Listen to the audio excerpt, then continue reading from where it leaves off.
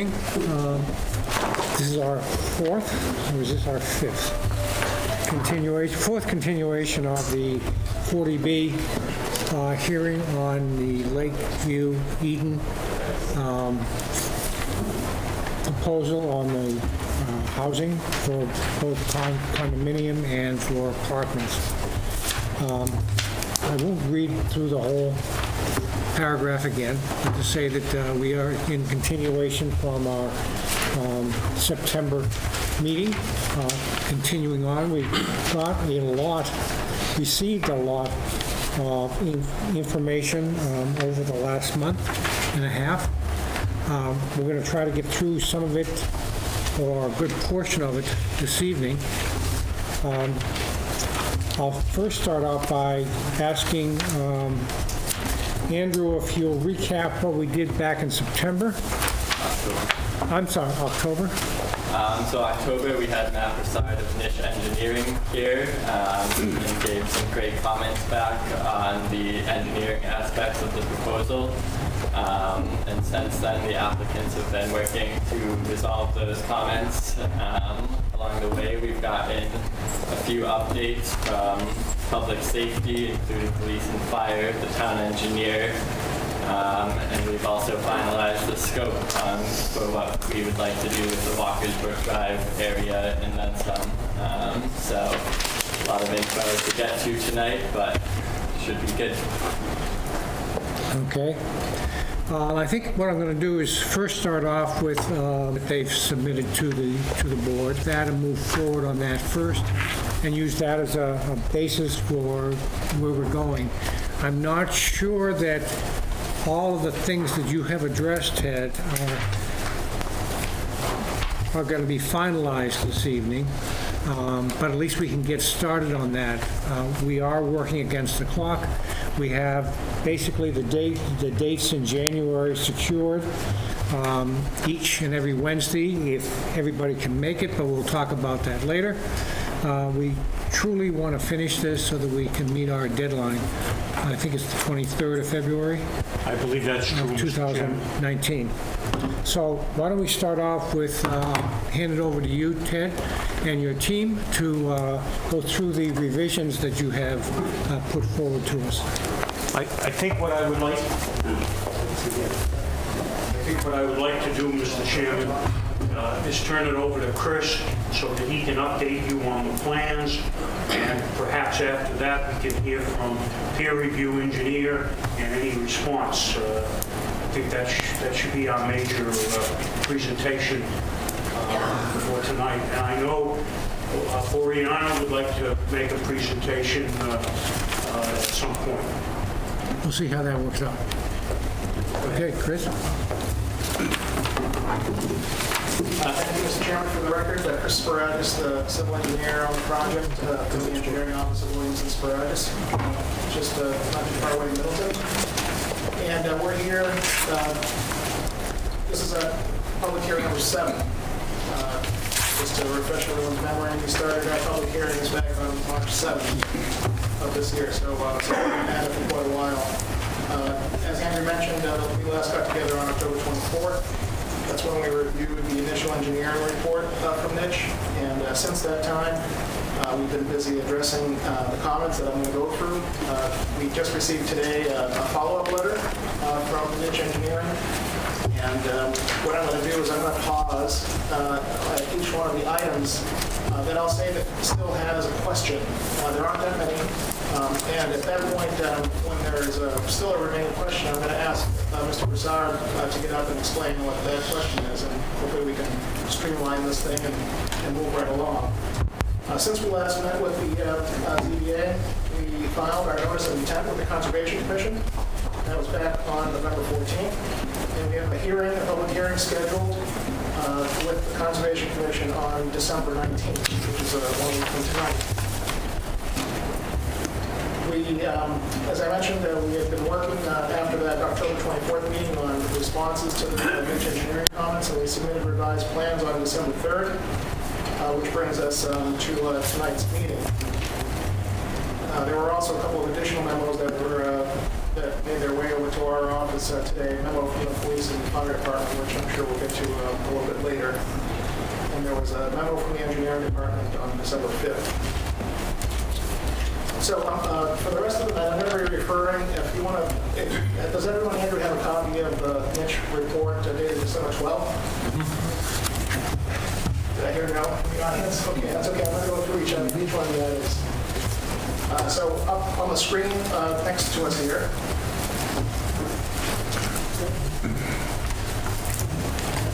this is our uh, topographic plan. Uh, And uh, we have our topographic plan that has the most amount of detail on it. Uh, There are two sheets at 20 scale, uh, one for uh, the apartment side of the project, and then there's another sheet in the plan set, either before or after this one, I can't remember, uh, that shows the, the 12 uh, townhouse style uh, for sale portion of the project.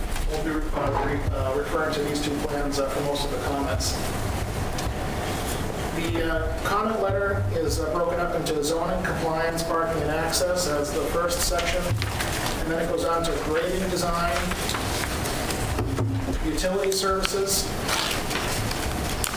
stormwater management, wetlands and floodplain. That's the last, uh, that's, that was the last uh, comment section, and then there was an additional section uh, that's new information, a new review, uh, if you will, additional review uh, that was requested by the uh, town departments with regard to a cursory review of our landscape and lighting program for the project, and I'll talk about that at the end. Uh, So starting from the top, uh, zoning compliance, on the very first page, parking and access.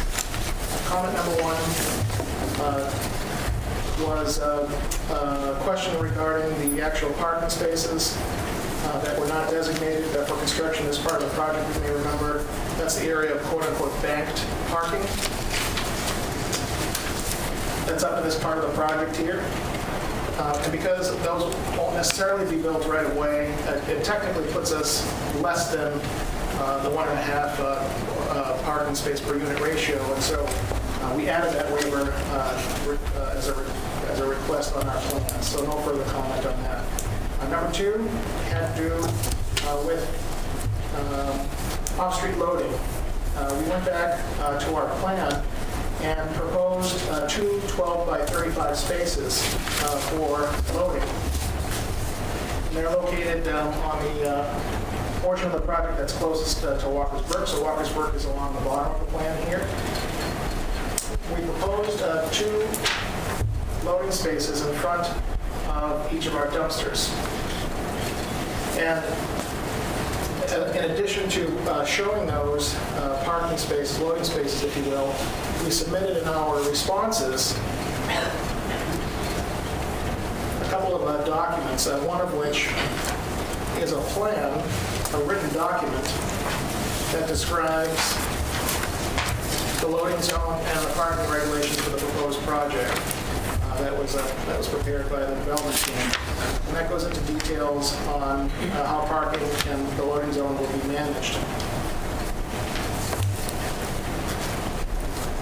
The loading space, uh, and uh, do I have control, like, Andrew, of the sheets on this? Yes, this? Okay. yeah. Let me just flip over to our layout plan real quick, because it does show it a little clearer, a little clearer here. This is a, this shows less information. It's uh, primarily parking in the buildings, uh, zoning information, uh, the width of the aisles, if you will. Uh, This is the plan where you find that our, our parking aisles uh, all show as uh, 24 feet in width on both sides of the project. Here are those two loading spaces. These are the long rectangles that you see here and here. And of course, these would only be used uh, during those times when someone was moving in and out of if they needed uh, to have a moving vehicle. Uh, This would encroach on the, on the 24-foot driveway path. This is one of the uh, still remaining unresolved questions uh, that was raised uh, uh, by Nitsch, and I'll let Matt just uh, talk about a little bit.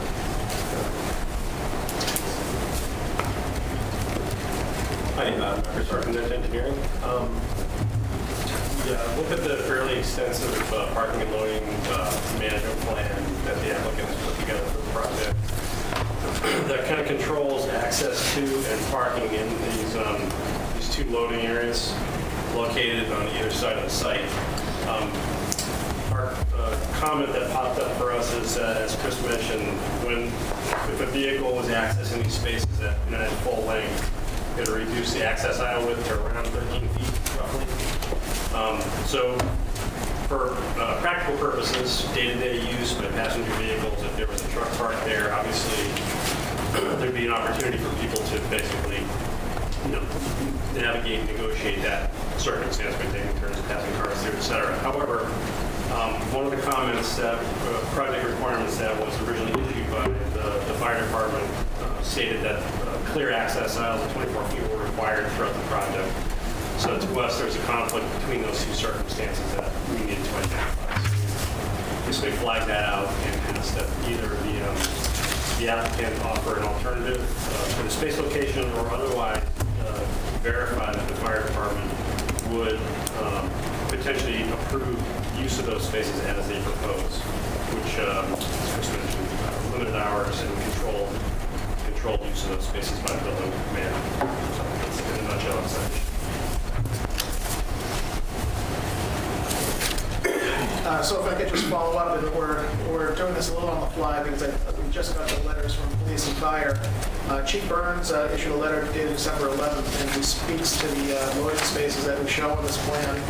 I'm quoting from the letter, uh, uh, the memo from Chief Burns dated December 11th. The size and placement of the loading zones in the areas indicated on sheet plan 8 of 17 presents an obstacle to emergency access.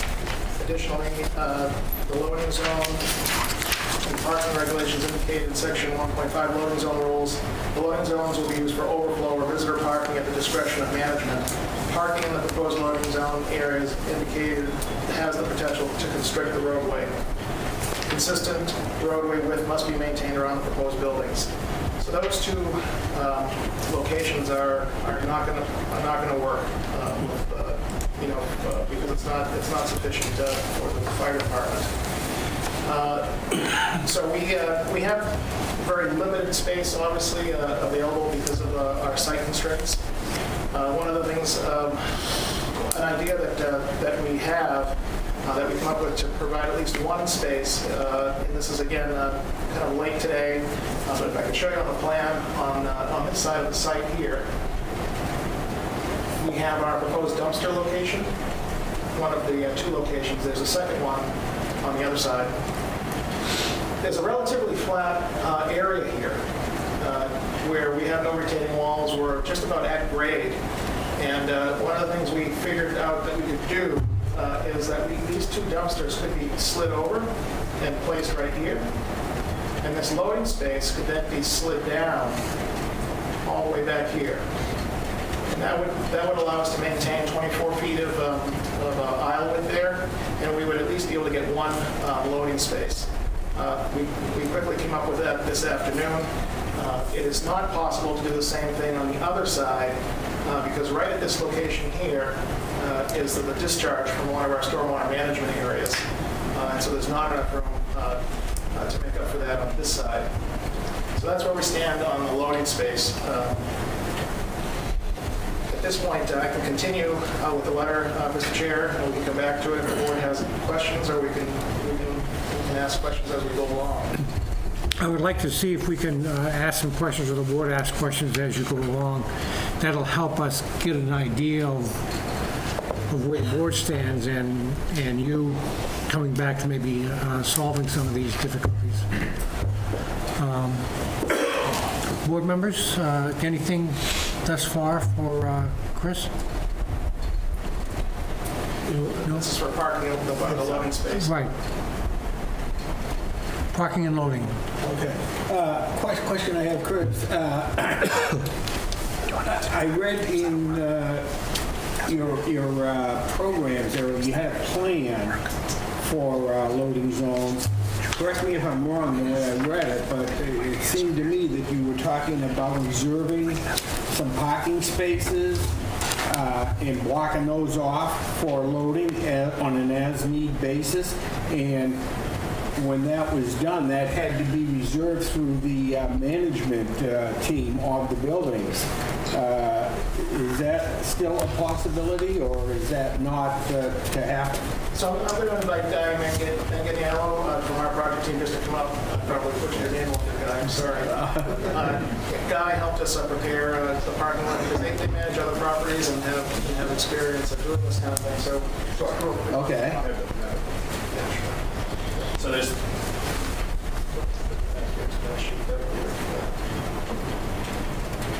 Identify yourself, Guy. Sure. So Gaetano Manganello, I'm one of the developers of this project. So there's a, there's a couple schools of thought here on how we can address this effectively. So the, the, the first school of thought would be to do as Chris said, and it's a simple solution where we can have a loading zone by sliding those dumpsters over and allowing ourselves a 35 feet down without impeding the, the safe passage, right? The other one, which you, you referred to, uh, was, was the- okay.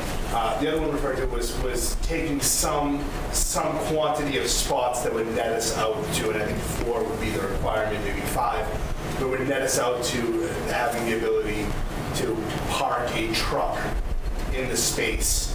Um, And we can, we block those off as nightly parking only, so that they had to um, you know, uh, remove themselves from that spot at a certain time in the morning. And, and that way we could use the parking at night when people needed it, and most likely when people there the day. So knowing that if you park in this spot, your car must be moved by X time in the morning, and I think we, we indicated a time slot in there. So that was the other school of thought. If need be, we could have, and we could do both, right? We could have some in case there was an overflow of moving vehicles. We can have both there. So those those were kind of the school of thought. And then the other one was there's this there's even uh, this bank over here the curb cut. I mean, we could always move this spot down a few and have a truck ability to back into this right here and have a loading zone kind of naturally from the curb. Um, and I know there was some issue with that with the, the safety the sidewalk was or something like that. Yeah, yeah. Those are the ideas. Okay. Right, that, that second, uh, that second idea was, uh, was providing for a loading space right in this area and removing that landscape island, if you will. But that does uh, potentially pose a problem with vehicles, uh, let's say they pulled in head first. That would, that would mean that somebody might have to back up or back onto, you know, directly onto the right-of-way. Um, Not necessarily what we, what we would want to do. Um, It would make more sense, I think, as Guy mentioned, uh, you know, to have a a routine uh, and the ability to cordon off a couple of spaces should need arise. So those, those are the ideas of- behind what's in the, what's in the report. Matt, what do you think? Uh, Something that, uh, such as this could work? is it okay if I just, need- do I need to use the microphone? Okay. I I don't I don't see what people use. Um, Yeah, certainly could, if they could, if they could make that program work in terms of the development, it'd be up to the, to the board to determine whether or not in fact that would satisfy the requirement for provision of those spaces and, and what, um, uh, you know, what leverage the town would have over the enforcement of that condition for the project. There's no reason why it couldn't work. I, I I agree that um, kind of enlarging space in the front by removal of that island would not be something that we would recommend. The size of the curb cut that would be required and the enter and exit directly onto a public way, which is not typically something that we would recommend. Know if that answers your question sufficiently or not. Well, we still have the the question, Chris, are you, are you specifying that uh, we would reduce it from um, four loading spaces to two, which now is going to be reduced to one? Uh, So we would propose uh, re- reducing the the calculated requirement four down to two, and have one be a dedicated space over in this area here, and then the second space be the the floating space that's described in the parking plan.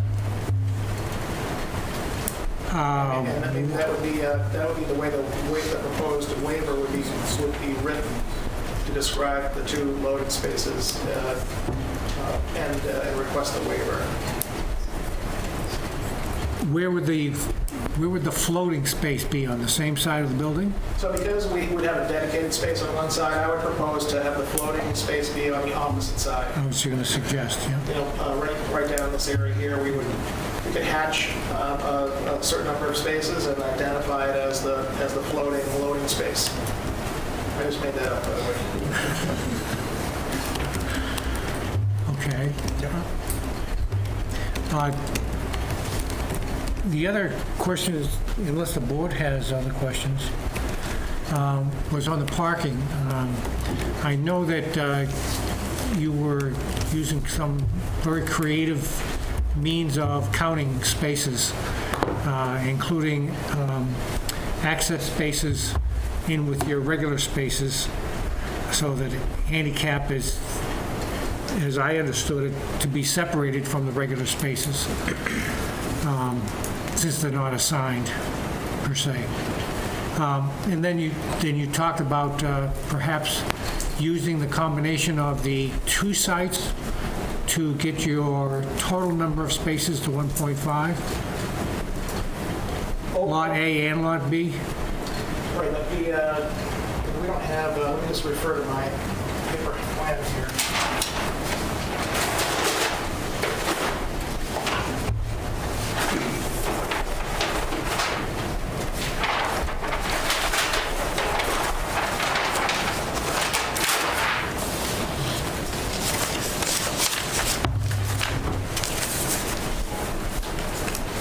I just wanted to refer to the the parking calculations table. And so, uh, again, we have uh, on Lot A, which is the apartment project, uh, a require, a requirement for, let's see here, make sure I have these right here. Uh, Lot A is the, uh, smaller of the two, if you will, the, uh, the for sale project is a requirement for 18 spaces, and we've provided for uh, 24 spaces. Now, on the apartment dwelling side, which is Lot B, the one that, that uh, that is, uh, on this, on this side of the property, uh, there's a, the required number of parking spaces is 111, uh, and we are providing uh, for 111 uh, if you were to include the future parking spaces. And so uh, we do have uh, the requisite number on each project. Uh, The total uh, parking space count is 135 divided by 86 units uh, for a parking space ratio of 1.57. That includes the 10 banked parking spaces. When we take a look at accessible spaces, uh, that's strictly based on the total number of parking spaces and uh, the requirements for, for for ADA and and, um, the architectural access for, we provide the requisite number of spaces. The number was, uh, that was required is five, and we provide seven. To answer your Matt. question, typically, the handicap or accessible spaces would be included in the overall parking count number and not in addition to those. They're included in, okay. I misunderstood that then. This, this might be the time to get Boreana's uh, uh, comments in on the park. I'll, I'll take uh, community input, and I know that Boranna was going to try to do a slideshow, but I don't think we have the time to do the slideshow. If you want to address that, Boranna. I just wanted to show this, the data, that's all, not a big slideshow, but I was wondering if you can see the table, because I, I cannot really like speak for the numbers. Like, it, it's easier for you to see. Well. Can, can you do this in five minutes? I can do it in three minutes, there are three tables. Okay. But I want to, hey, Andrew, can, can we get the slides there? It's really quick, there's three tables. Okay. Okay. Watch out for the briefcase, Boreana. Sorry. Okay, so this is just like uh, we are advocating for a pocket park instead of a car park. And I want to be very clear: the development team was very willing, was planning to build the required spaces. They wanted to meet the bylaw at 1.5. The neighborhood asked them to actually create some green space and make this development more attractive and more like, um, so it uh, blends better with the neighborhood. Okay, so here is the table I wanted to show you. Uh, so this is a study from the Metropolitan Area Planning Council from 2017. So they studied multifamily development. So this is like in five communities in Greater Boston. They're arguably more urbanized than Reading, but just happens that such communities have more multifamily buildings and they needed uh, like the statistics to it. So they started about 80, um, 80 apartment complexes. So as you can see, the requirements are always uh, higher. So this is what the town requires. For example, Melrose requires two spaces per unit. In reality, they have 123, which means they're giving waivers when those apartment complexes are built. But what it was observed, like only one space per unit. So it holds across all five communities that the demand was much lower than what's the requirement is and also what was built. So the conclusion was space is not effectively utilized, so the town can do better. And basically the parking requirements, if they're applied across the whole community uniformly, that's not the best. And often such requirements can be obsolete. And the reason is because there is a national trend, decreased demand for parking. And that's due to Uber and Lyft and Zipcars and so on. Same day deliveries, people now have a healthier lifestyle, they bike, they walk, and so on. So uh, municipalities are recognizing this uh, across the nation. And so what they're doing now, they give the development teams flexibility. So they are allowing them to um, build parking as needed, and they're also allowing them to convert existing parking to some other purpose. Sometimes it's hard because if you have underground parking, it's hard to use it for anything else in development to kind of, if, if it's required, because they recognize times are changing and maybe the requirements do not apply uh, the same way as they applied when they were kind of created. So this is like Lakeview apartment. That's the apartment complex just next door. So uh, there are 92 units, 152 spaces. So that gives you a 165 ratio. So my neighbors, um, we have volunteers go there at night and count because we wanted to understand what is required, like what is the demand in the area. These are two-bedroom apartments. So this is like uh, the mixed, uh, here actually includes lots of one bedroom.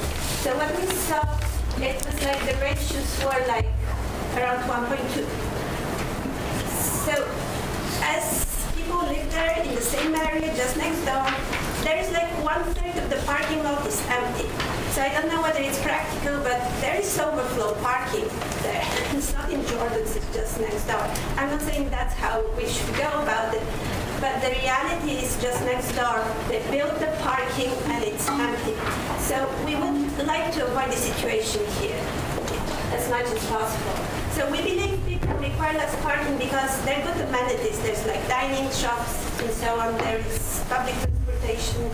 And we just wanted to mention that Reading Village uh, was approved at 1, 1, uh, 1.25, which is the requirement for uh, 40R. And we know this is not downtown, but what we observe is that people do live without uh, uh, at the lower car ratio. Okay, and so this is just a summary of what they're asking for and what we would prefer to see. If you see a 1.25, there are 93 spaces, which gives them like eight spaces to use, maybe for loading, maybe for something else, maybe for mixed-use parking and um, and loading areas. So the development team is proposing the second number, which we do favor, and we think we can get the green area that way. If we go for 111, we just will get these huge parking areas, which we do think will be still empty, like one third, because that's what we've seen. But the development team wisely wants to reserve the right to build up if they need to, which I think is the right choice. They don't need to go back to the town. But we just are asking you to give, a, give this development a chance, just to see. And here, just quickly, some pocket parks pictures for inspiration. And the last slide. We, we are really, this is a slide from our very first presentation when we came to you, and thank you very much for including us in this process fully. And we wanted a better project for all, and here we are advocating for this. And uh, we put lots of time and effort to be constructed, and the development team met us halfway, and they made big changes to the design. They met us halfway on this pocket park, so we're asking the town to, to help us create the forward-looking modern development. So thank you. Thank you, Boyan. Um, I have one question for Matt. Um, Right now, we're, we're using 18 uh, spaces on Lot A um, for parking. Um, Lot A is, is the, uh, is the con- condominium area, and that's going to have its own entity down the road as soon as that, that's all put together. So whatever is going to happen on that is going to be by itself. I don't have a problem with the 18 on that personally. However, uh, I do have a little bit of a problem on Lot B, and I would, I would prefer that, um, and you tell me what you think, Matt. I would prefer that we lower the expectation in the total number of parking spaces per unit, remove the 10 from the area that's buildable to a, um, a bank, you might say, that would be used only when needed. Um, And if the development needs to do that, or if the, if the apartment complex needs to do that, they would need to come back to, I would have, probably say this board to go through that to justify that. So take a lower number and move it up. Um, If needed in the future, take a lower number uh, initially, because we're getting definitely that point. Um, And you talked about bicycles, you talked about all kinds of electric cars. I don't see anything, not that I'm suggesting that you do it, but uh, we don't have any uh, stations for electric vehicles to come in and uh, park and get uh, rejuvenated, you might say, over a four-hour period or whatever. But down the road, I mean, as we're developing other sites, uh, some of these things, if you're talking about the future, need to be, need need to be considered. But right now, personally, it's just one member of the board, I would like to see the ratio lower to maybe, and I I haven't actually done the numbers, closer to 1.25, um, and then, and come up with that bank off to the side, and I would like to see perhaps the economy spaces, instead of all being nine by 18, reduce some of them to eight by 18 for the smaller vehicles. Um, all you're doing is you're, you're trying to put in there, and if you're using some of that 8 by 18, and one of your spaces happens to be removal of the loading zone to the opposite side of the building, and you're going to use three or four of those parking spaces, uh, you might fit that in a little bit better than using a 9 by 18. So I'm just suggesting maybe some other thoughts that you would look at. But uh, again, I'm I'm not recommending that as a board, I'm only recommending that, that as one member of the board. You're asking, asking my opinion about that? I mean, I think all those suggestions sound like good progressive suggestions for development. It's my, my personal opinion. Have you worked on, with some, of some other issues uh, or other developments where some of that's Oh, yeah. been used? Pretty pretty much everything you just rattled off are factors and alternatives for, for uh, residential multifamily developments for parking. So that's something that you might, as a, Gener- Generally speaking, those options are um, identifiable to um, uh, their parking regulations and zoning regulations that address those actual items. So might, you might have an allowance for, um, you know, some percentage of, of, you know, compact car spaces on your lot, or inclusion of, you know, I think one of the things that, in a- in an upcoming comment that we identified from the, from the DRT memo that we reviewed was get a provision for, um, it's like on-site, you know, taxi space or, uh, things, things like that. Yeah, that's part Kind of how the regulatory adjustments get made. So, you know, because it's a 40B um, project, the developer would choose to, to, you know, offer some kind of combination of elements like that. I would think it would be, I mean, right, yeah, question for the town counsel, but I think you have the ability to, to accept those, right? Absolutely, yeah. So that's something that, uh, It's not, and then nothing, nothing you just said is an unusual aspect of parking. so that would be something that, as a team, you could could possibly come up with to come back later to us. I mean, we're still in the process of getting all this stuff done. We're taking it piecemeal. So this is just one item, but parking is, a- is a major issue for any development. So that's just one item down. I mean, if the rest of the board is okay with that? Uh, uh, So far, what I've heard tonight, John, both with the parking and with the loading zone, I think are uh, uh, progressive thoughts on it, and and I think it could certainly work here. I do like the idea of uh, having a space that if needed, additional parking could be constructed, but not necessarily have it now, and I think it's a great idea to have it as a pocket park. Uh, I I thought the uh, neighborhood group did a great job in their presentation on that, and I especially like the figures from, you know, the surrounding towns were nice, but I like the figures from Lakeview, the next door neighbor, what they were uh, using for their parking over there, and and the way the ratios worked out. So I I think, uh, in my way of thinking, we can be comfortable with a a reduced number of uh, uh, parking spaces here to to lower the ratio down to, I think there was that middle of 1.337 or 39, something like that, yeah, something like that, I think would be fine. Uh, I think, it- you know, it's- it's good thinking, I think, know. So a cou- a cou- couple of things. Uh, The um, the parking ratio right now on the apartment project is uh, is 1.4 if you were to exclude the 10 future parking spaces. So we're we're kind of there right now. We have, as a development team, we we thought long and hard about how many parking spaces to bank uh, because, uh, as I as I said, uh, uh, Guy's group uh, has done a lot of, uh, ha- has other projects, that has done has done some research on on their own needs for parking.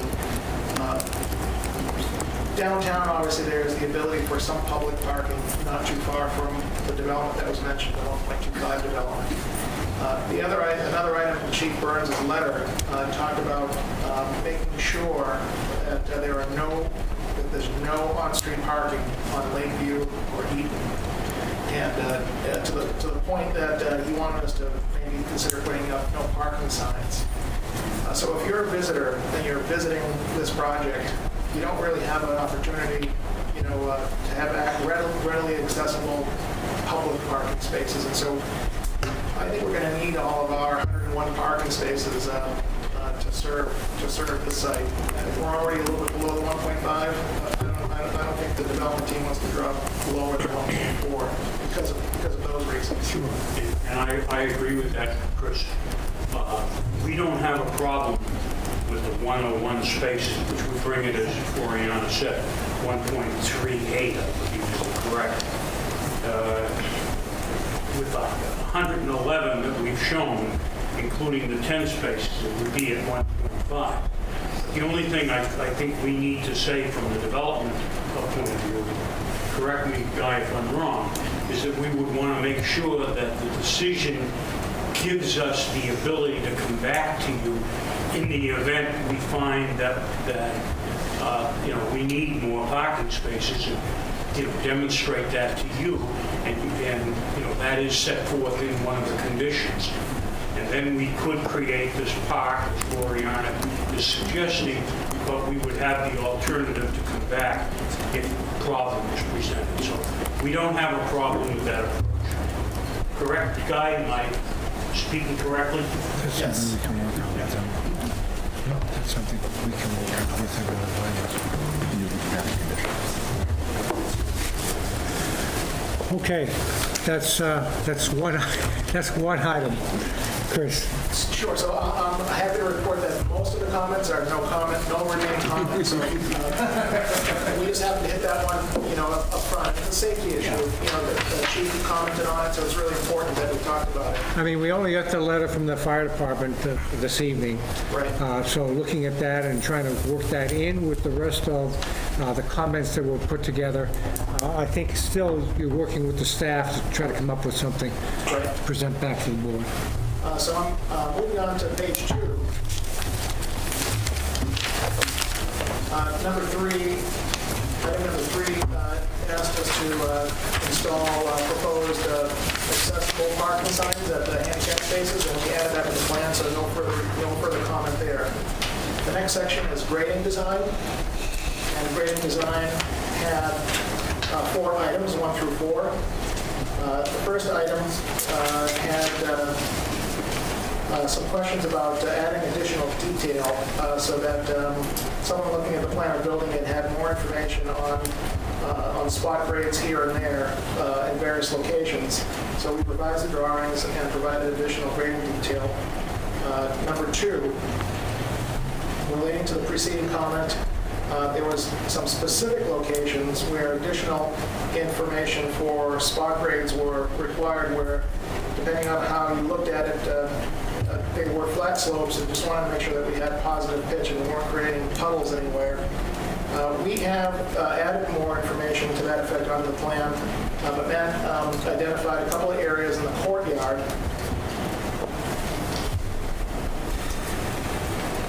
in the courtyard area, uh, which is this area here, in between the buildings, uh, where we have uh, a series of sidewalks and benches uh, for folks. Uh, We've we've left this area very uh, relatively flat uh, to make sure that we have accessible routes throughout the courtyard area. And um, we just got the letter today. Matt's going to provide us with a little sketch of a couple of questions that he had, uh, so that we can just add a couple more um, spot shots to make sure that we don't have any flat spots. Uh, Was that, was that pretty much covered? Okay. That was item number two. Item number three uh, was another minor grading adjustment on Lot A, uh, which was a, uh, a a line that was remaining from a previous uh, the plans. We uh, we addressed that item, no further comments. I'm at the bottom of page two now. Item number four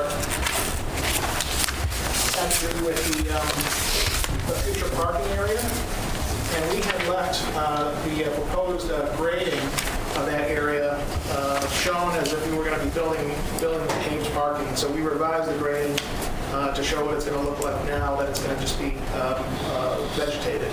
So no no further comment there. That's the grading design section. On page three, at the very top, uh, utility services. Uh, There were four items that talked about fire and domestic water service. There were uh, other comments about water service pipes and how the domestic services were going to come off of the proposed uh, water connections in the street. And then the last comment had to do with the hydrant location. I'll go there in a minute. Uh, What we did is I reached out to the town engineer, um, who also conferred with DPW, when we reviewed each one of our utility connections.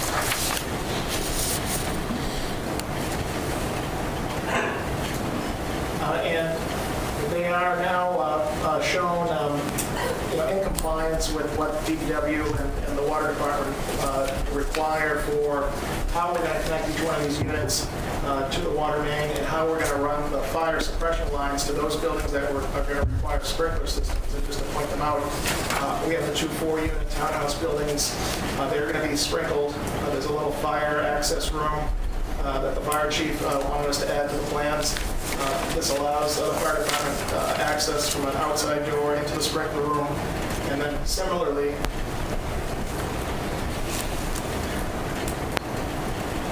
obviously, uh, each one of these buildings, the 12-unit buildings and the uh, the larger building here, Building 1, are also going to have uh, full sprinkler systems.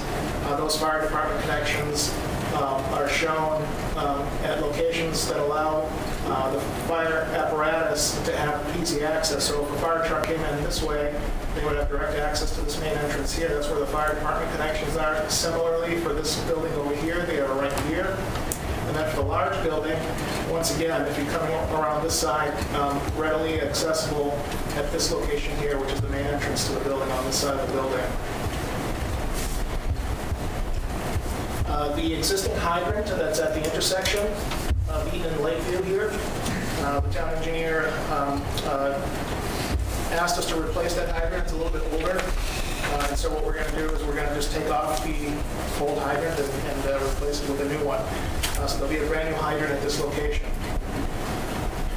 In Chief Burns' letter, uh, there was a comment here about the hydrants, and since we're talking about hydrants, uh, chief asked uh, for a second hydrant location, uh, in in the most recent one that we received today. That hydrant uh, location is going to be uh, somewhere in the back of the project here. Uh, So uh, we're going to, we're going to run uh, another water line, if you will, uh, to the back of the project, uh, and we are identifying a location on this side or on this side and and run it by uh, Chief Burns to make sure that he's happy with uh, with that location before we come and see you again.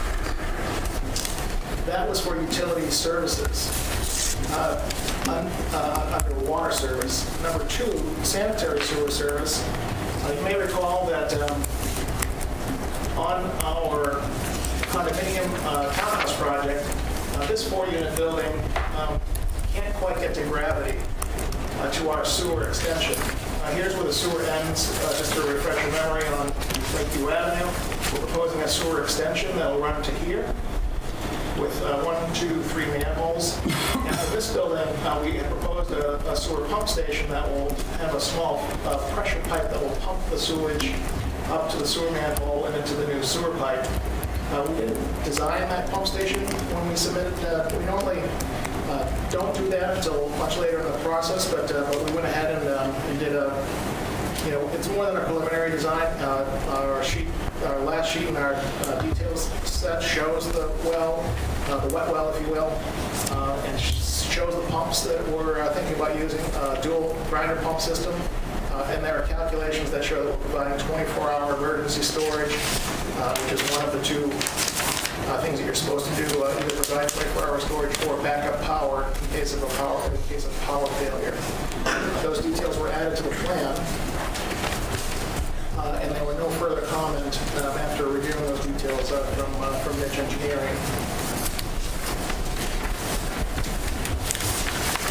Uh, On the following page, which is page four at the top, uh, there was um, a comment about uh, identifying the invert or the elevation of the pipe underground at the existing sewer manhole that we were going to be coming off of. That information is shown on our utility plan, uh, but it wasn't, uh, it wasn't shown on the existing conditions plan, uh, and so that's why um, uh, Matt didn't see that the first time through. Uh, But we'll, we'll make sure to also add it to the existing conditions plan on, on the fi- on the final plan.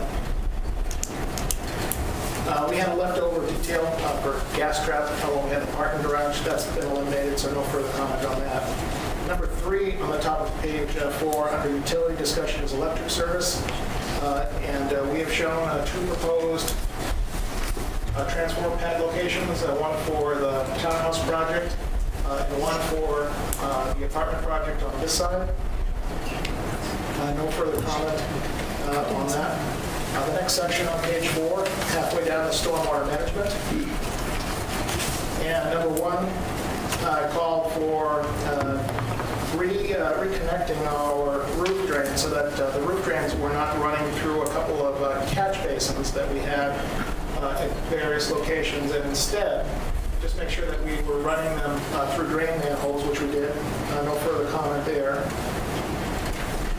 Uh, The next comment uh, had to do with the, uh, with design, uh, specifically, uh, Nitsch Engineering asked us to explore the potential for increasing the overall closed piping system elevation to maximize its capacity for free discharge gravity pipe flow, uh, consistent with standard engineering practice. So what we did is we went back to our design, uh, and um, in the system uh, from our seven, uh, seven uh, trap oil separator units here uh, and here, we we went backwards and picked up the entire drainage system as much as we could uh, to maintain um, uh, additional, or to provide for additional uh, free discharge in that system. Uh, I don't know, if you wanted to comment on that. Um, yeah, I guess I could real quick just explain what the comment was about. So, so typically for uh, a drainage system for a commercial project or municipal project, is, I'm sure everyone's familiar with the various design storm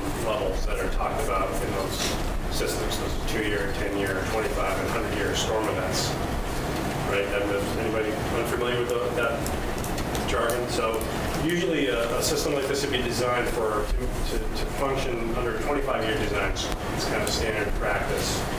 And um, we started looking at hydraulics that were, uh, information that was provided by the applicant, we noted that uh, due to some topographic constraints on the site, uh, during most of the storm events, the design storm events, those infiltration fields are basically going to fill up with water. And in addition to those filling up, uh, a good portion of the, of the connected piping system would uh, be full of water as well. So hydraulically, um, the applicant showed that the overall system would, would function, it would not surcharge to grade, um, which is fine, but one of the results of that, that condition can be, if it happens frequently enough, uh, lack of what's called self-cleaning velocity in pipes. So water's not flowing through the pipes fast enough to move sediment or other debris into the water quality unit that's intended to catch all that stuff. Um, So uh, one way to remedy that, uh, even though the overall system will still function the same, as Chris mentioned, lift the piping up so that for the majority of the pipes, there's water actively flowing through those toward the infiltration fields. Um, And and the reason I'm explaining this is because um, the revised uh, system, the the two and 10-year storm events, there seems to to still be some water or backwater into the system during the 25-year storm event. However, for- because of the- the the constraints on the project and um, uh, the fact that this is, uh, it's a private development, and it- technically the system still meets the the associated DEP um, uh, performance standards overall. Uh, We didn't really think it was appropriate for us to object to the system as designed currently, and primarily because uh, from a realistic standpoint, when you talk about a 25-year design storm, you're, I forget what the numbers are in this project, Chris, but you're talking a five, six inch rainfall, which is obviously quite a bit of rain. Um, The lower storm events, even the two-year storm event is a little over three-inch rainfall, which I'm sure everyone can agree is is still, you know, a major rainstorm, everyone knows it's happening. Um, You look at the frequency of those storms, uh, based on actual rainfall data, um, not to throw too much jargon out, but if you look at what we refer to as a 95th percentile storm event, meaning 95 out of 100 storm events in one year would fall under a certain rainfall depth, that's really, then you're talking around like a, like a 1.6 to two, two inch rainfall. So even lower level storms events, or storm events are very rare, rare, very rare.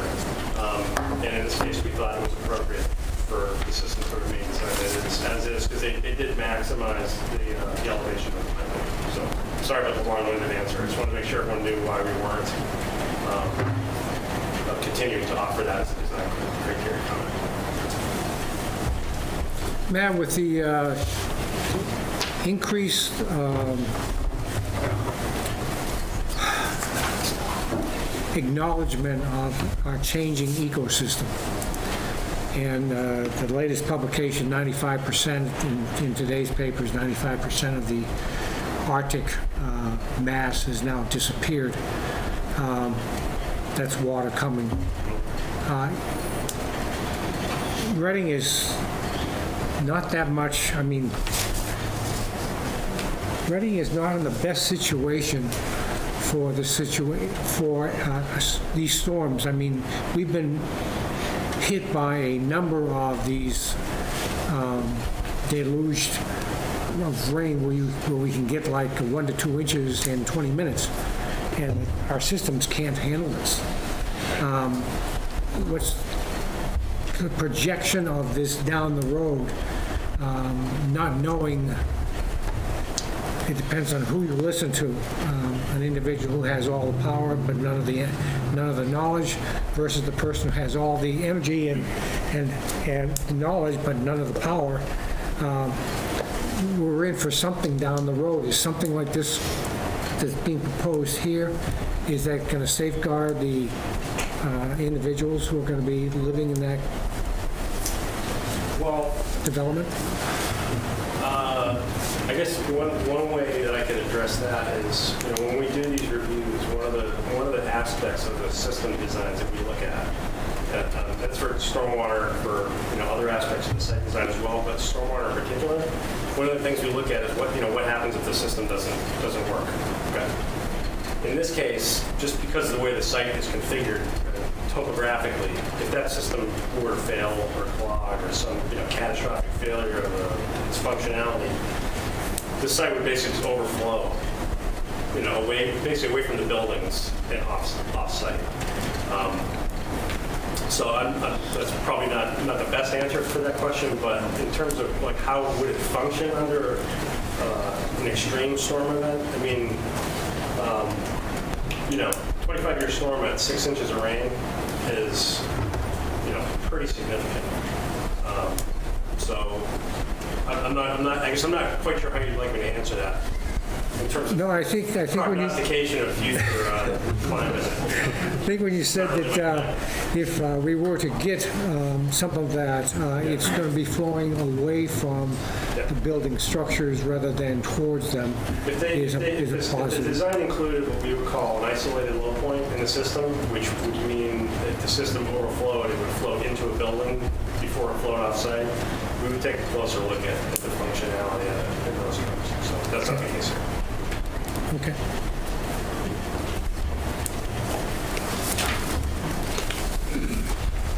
So we're on page four. At the bottom, the last, uh, that comment number three, uh, for some reason, the proposed watershed maps were not included in the materials that were uh, given to Matt, so we made sure that that he had a copy of those plans uh, for this uh, latest review. No further comment there. Uh, On page five at the top, the last item under the stormwater section uh, had to do with uh, the feasibility of adding low-impact development techniques to the project. And we talked a little bit about this. And uh, we went back uh, to the drawing board and identified a couple of areas where we were able to add a couple of uh, small rain gardens to the project, uh, in particular in the courtyard area.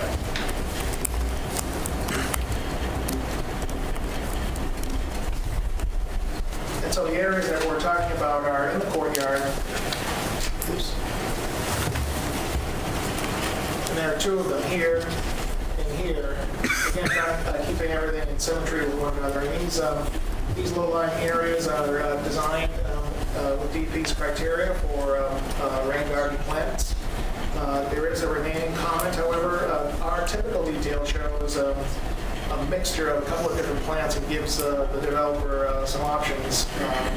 Uh, But Matt wanted us to specifically uh, specify the plantings, uh, which we can do that as well. We'll, uh, we'll make sure to have the specific plantings that are going to be within these rain garden areas here and here, uh, added to our landscaping plan, which you've seen before. So when you see this landscaping plan again, these areas will, will actually have the specific plantings, and the table will be updated here instead of leaving it general detail sheet.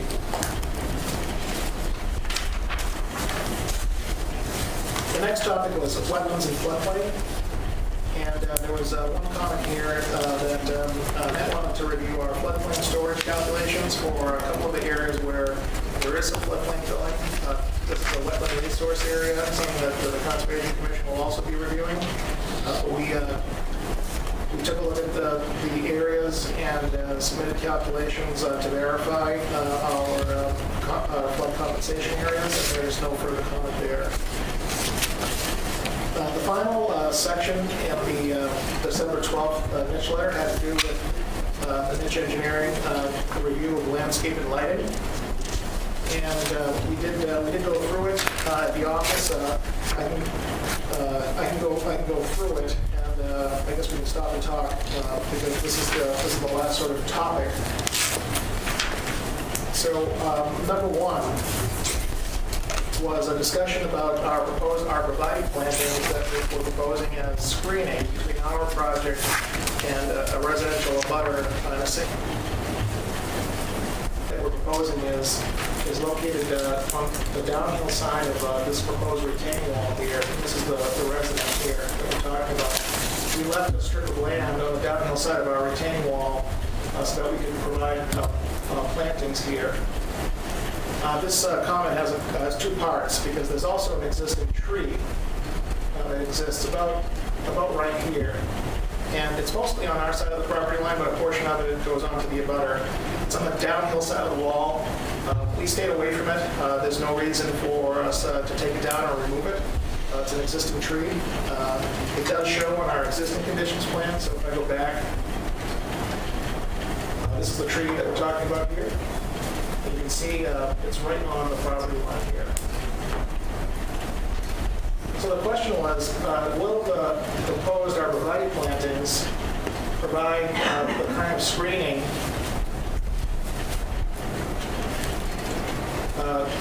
Will will these proposed plantings here uh, provide the screening uh, that, uh, that's going to be sufficient to, uh, to screen the the townhouse development, let's say, from, uh, from a single-family home? And at planting, we're proposing um, to plant those arborvitae's at four to five foot in height and eight foot on center. And they're on the low side of the retaining wall. And if you recall, this retaining wall is being constructed uh, because the existing land slopes down um, a little bit too fast uh, for the, for a driveway. And so we're filling the land here a little bit, building this retaining wall uh, so that the slope of this driveway is uh, less than what it is today. And so this is going to be sitting up a little bit higher uh, than the existing grade. Uh, The plantings are on the downhill side, if you recall, uh, and so they're, they follow the landscape. Uh, At planting at four to five feet high, um, they're not going to be above that retaining in, in, uh, in many cases, and it's going to take several years, you know, for those plantings to grow up and become a full, you know, full-blown screen. Uh, So there was a, there was a question here, uh, let's see, we suggested although over a long period of time, the shrubs may sufficiently increase in height, but as proposed, um, they will not achieve the intended effect um, instantaneously, if you will. We recommend the applicant review this condition and suggest additional measures to provide a more effective screen in this area. So we're just seeing this uh, for the first time tonight. Uh, um, We haven't had a chance to talk about it as a team, so um, that's the first, that's the first comment.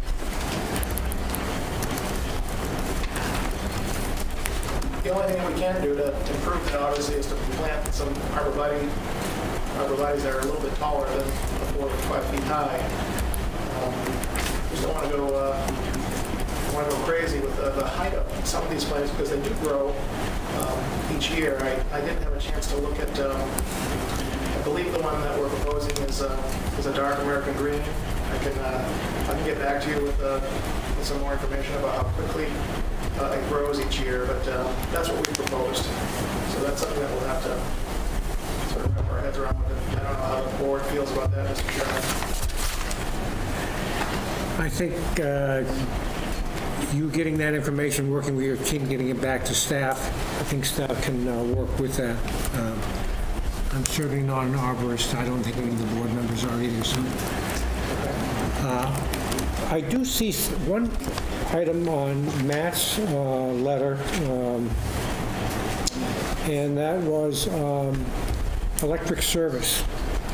You want to go back to that? Um, Only because we're covering everything that was in Matt's that you're answering questions on, and this became, electric service became an issue with one of our other 40Bs. We don't want to go back there again, so I, I think that um, you need to get that information to staff so that Reading Municipal Light can address it before we get to to putting any electricity in there.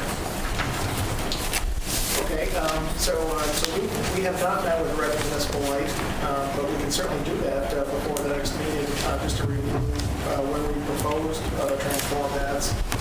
And then e- even if uh, Matt gets a hold of that and takes a peek at that, um, I don't know, would would we need to have Matt review that, or the Reading Municipal? The only, the only reason we typically review something like that is to verify that the the transformer locations were not interfering with another aspect of the site's function. You know, so it was placed.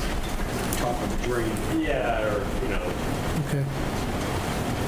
Well, we we didn't cover that, so I just want to make sure we we got that in. Well, it might need screening also. we'll- mm-hmm. It might need to be screened.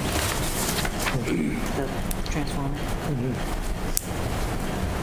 So we'll be sure to follow up with Reading Municipal Light Department. They're gonna, uh, I'm sure they'll, uh, they'll be able to help us. Well, uh, Gene made a, Gene made a good comment. Gene, you want to, My, uh, my only question is, wherever you decide to put it, it may require some screening.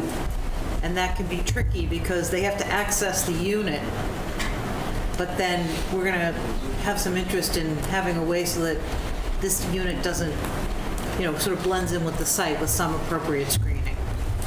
So it's a little tricky. I will talk to them about screening too, and what they like to see and what they not like to see. Um, That's going to be kind of tricky, as as you said. Yeah. Competing uh, interests. So back to the discussion of landscape and lighting. Um, uh, So I got some feedback already from our design team on the dark American green arborvitae. Uh, So they uh, typically will grow as much as uh, 10 inches every year uh, to a maximum height of 20 feet. Um, So it's close to a foot a year. It's obviously going to take them a while to get to 20 feet. But but we'll go and take a closer look at that to see if we can do any better. Mr. Chair, if I could, uh, it- I just had a question about whether or not there's another way of looking at the grading, the retaining wall. Instead of just saying, let's go with bigger trees, is there a different design concept for that area? So uh, we can go back and look at that, uh, but um, the reason why we need a retaining wall, as I mentioned, is to pick up that grade, to make that driveway Right. not as steep. And so uh, our driveway is uh, is at this location. Uh, If you recall, we had we had narrowed that driveway at one time, uh, and the fire chief asked us to to widen it again. And so uh, we lost a little bit of green uh, there, so that's working against us. And so um, I guess the, the facts that we have to work with uh, at this particular location is that we don't have a lot of room between uh, this, uh, this unit, the driveway, and the property line. We wanted to create enough space uh, to do some plantings, and, um, and so that's why we came with that configuration. But, uh, but while we're investigating, you know, what we can do with those plantings, we can take another look at the grading to see if there's anything else that can be done. Well, I'm saying, bring up the grade where you're gonna plant the arborvitae's. That, that way, if you bring that grade up, you, you don't have to be so concerned with going with, you know, such big trees. Maybe, maybe that, by regrading it, you, you, you're making up the difference. One of the things that that we could look at uh, to- would be to move the retaining wall um, so that it was on the property line or very close to the property line.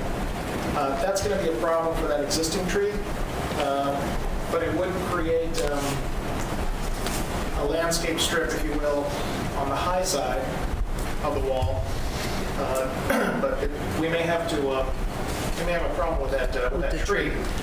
Now, um, you know, we probably have to reach out to the abutter to see what he would prefer to see. You know, uh, if that tree were to come down, for example, and we were to show him that the wall could move to the property line, and that would allow us to plant the trees at a, at a higher elevation um, to provide that screen, maybe it would be okay uh, to take the tree down, I don't know. But uh, we can look at that. Thank you.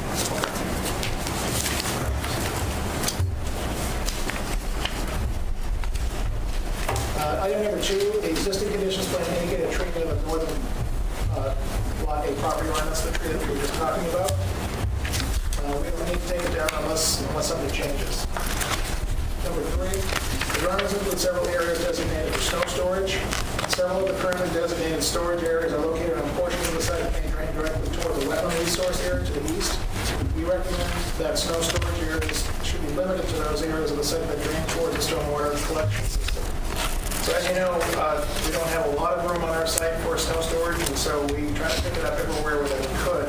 Some of those areas are on sloping terrain that slopes away from the parking lot, and so so as snow melts, it would melt on the um, vegetated areas and just flow into the wetland without going through the the treatment system. And so the request was uh, to remove those landscape, uh, the uh, snow storage areas shown on our landscaping plan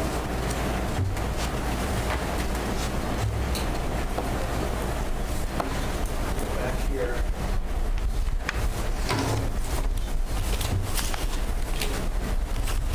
So the whole plan that we show on the screen here, um, just, uh, so for example, uh, we did have a a snow storage area, for example, shown, uh, oh, yes, here they are, over here, behind, at the back of the parking. Uh, So there's a couple of locations like that here, uh, and here, a couple of spaces that if the snow were to melt, it wouldn't come back onto the parking. So, so we can, we can remove them from the plan. It just means that, that that there's that much more snow that we'll have to put in the truck and take off-site. Uh, But we could definitely remove those uh, snow storage areas uh, from the landscaping plan. Number four, we recommend that snow storage areas immediately adjacent to internal and external driveway intersections should be limited in height, such that of vehicles are not obstructed. Uh, So uh, we've already talked about that one in-house. Uh, We're happy to add a note, uh, not only to the, uh, to the plan that shows the snow storage areas, but one of the other documents that we submitted to staff was a snow and ice removal plan. We'll be sure to include um, uh, that language and verbiage in the, in the snow and ice removal plan as well. Number five, the drawings include a photometric plan.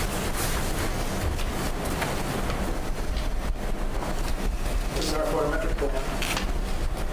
That indicates anticipated parking lot light pole illumination conditions for the site. The plan includes a note indicating that security lighting is to be determined. We recommend that the applicant provide information related to the snow relative to what security lighting may be required for the project and whether it will affect the illumination condition as currently proposed. So that's a note um, that uh, we commonly use on commercial projects. In our list of notes, see if I can switch over that plan, yeah, right up here. So that's this note number one, security lighting to be determined. So on commercial parking lots, when we have our parking lot lighting, at a certain time, most of the lights get shut off. And uh, what ends up happening uh, as part of our security lighting to be determined is one or two of those lights might be left on uh, so that if someone was work- working late, they could get out to their, to their car, uh, that sort of thing. Doesn't really apply to this project, and so that should not have, should not be on the plan, so I'm gonna, I'm gonna strike that note. Uh, There'll be small lights, you know, at each of our accesses and egress doors, that's a building code requirement. Um, So, so that's, um, that can be removed from the plan set. The final comment in this new section uh, talked about um, providing alternatives to transit. The DRT meeting notes referenced above include comments related to transit alternative items, including provisions for electric vehicle charging, zip car, bicycle storage, and taxi pickup drop-off. We recommend that the applicant comment on these items and whether they are intended uh, to be proposed for the project. Uh, Now, the only item, uh, we haven't had a chance to talk about this as a team, but if if I recall, we have uh, proposed bike storage.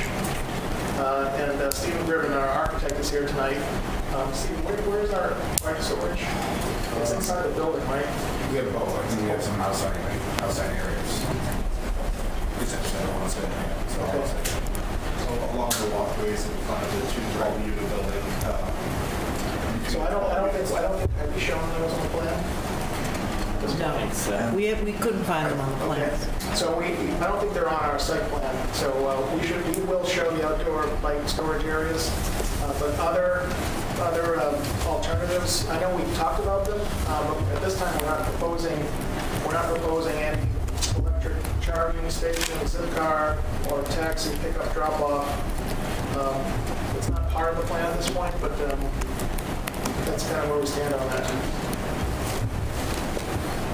So that's the last item in the, in the, uh, in the comment, the revised comment letter from Engineering. So in summary, you know, we went through a lot of items. Um, You know, if you look at it, uh, you know, globally, there, there are a lot of minor, a few minor comments here and there, and, and the big one, I think, had to do with the lo- the loading zone and and that, the driveway and and safety, that the fire chief was most concerned about. Um, Most of these other items are, are, minor, can be, um, and can be addressed pretty quickly on the site plan.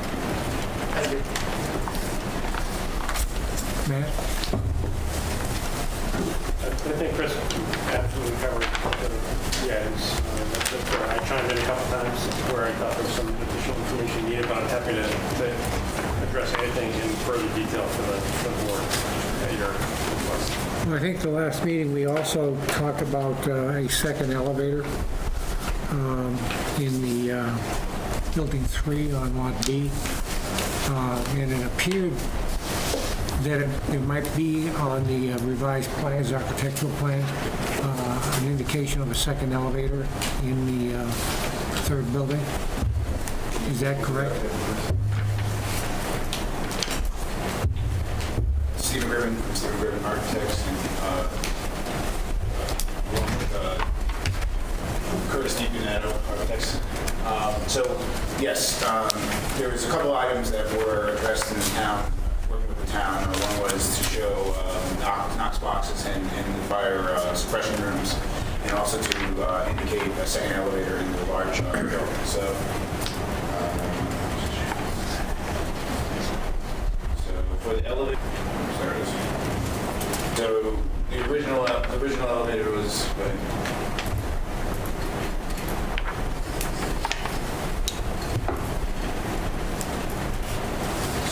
we had, just originally shown one elevator right here, but now you can see it's banked two elevators. So we addressed that, and while this plan is up, can you scroll up to the, the- the other plan, sorry, the other one. So here we, uh, while we're at this building, uh, we indicate the fire suppression room is right here, off of basically where the fire uh, connection is, and the, um, the Knox box is right outside the door, so, uh, for access for the fire department. Um, Can you- can you go to the- can you zoom back out to the? Yep.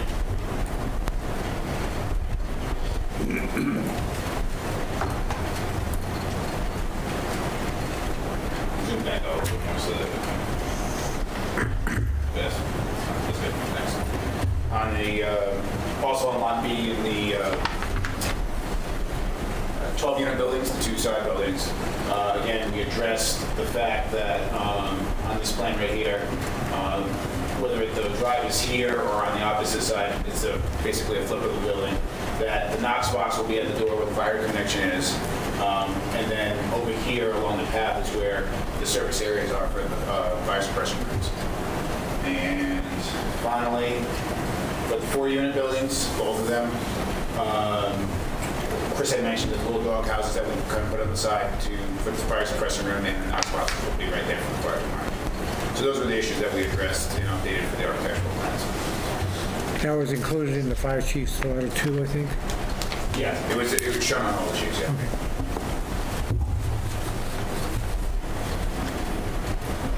Nick? I have a quick question. Uh, the fire suppression rooms, particularly on the outside of those four unit, are they heated?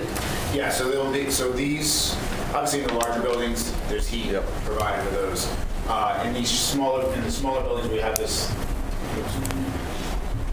uh, like this little, the little area right here. Uh, there'll be a little wall-mounted heater that will be electric, basically, that keeps it to a certain level. And, and, you know, it's just above freezing type of, of heat, it's not, you know, 90 degrees. anything. Other questions from the board?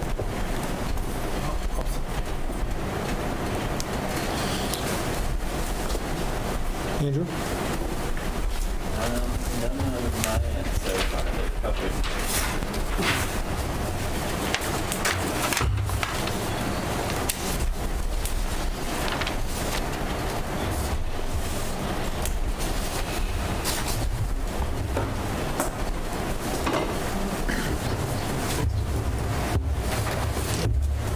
don't know if you guys got a chance to review the police memo yet, but they did ask for some additional stoppage, stop signs on the site, I believe around your Lakeview exit. And then closest to the apartments. Yeah, if you got a chance for the police memo yet, that just asked for some additional stop signage, and if you could address those or not, like, Sure. maybe set. Yeah, if we can go back to the site plan.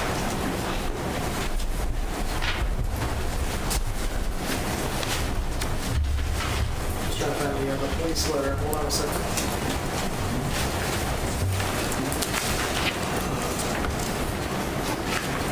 Got a copy of the PA.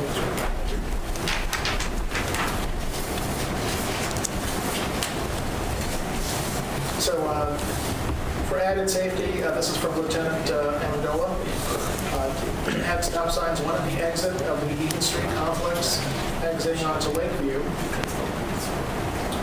So from the Eaton Street complex, let's see here, you can, uh, so from the Eaton Street complex, exiting onto Lakeview, that would be at this location here. and another at the exit of the Lakeview Avenue closest to the Lakeview Apartments. So that would be uh, here. So we can, uh, we can very easily add a, a stop sign here and then here for vehicles exiting, if you will, um, to let, let them come to a full stop before entering the public way.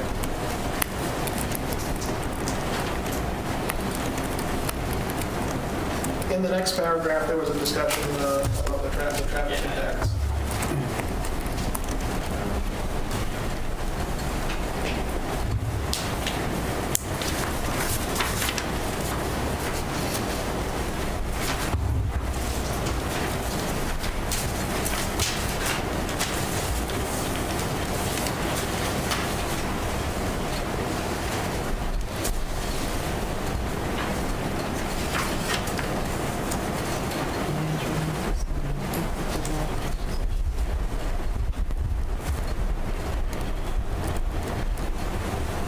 On the architectural plans, I don't think we saw anywhere dedicated. You guys, it's the management that will be doing the parking and loading and everything. Is that on site or is that off site?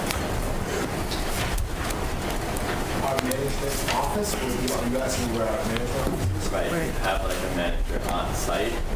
Uh, There won't be a specifically residing inside of that building. We have an office nearby where we we work from.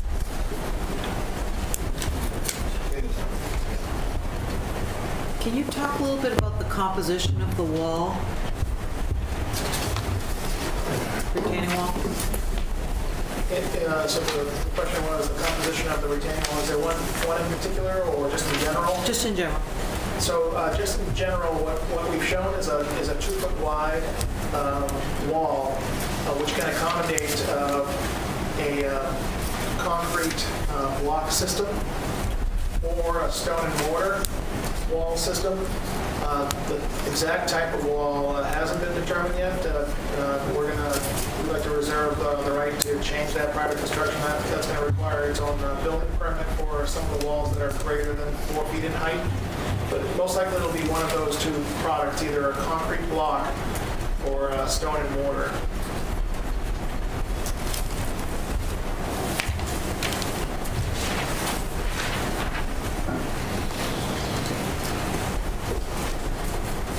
Uh, If it helps at all, for for the most part, most of the walls will not be seen or, um, you know, be seen from the site uh, because they're sort of holding us up from the wetland below in order for us to maintain that 25-foot no disturb zone.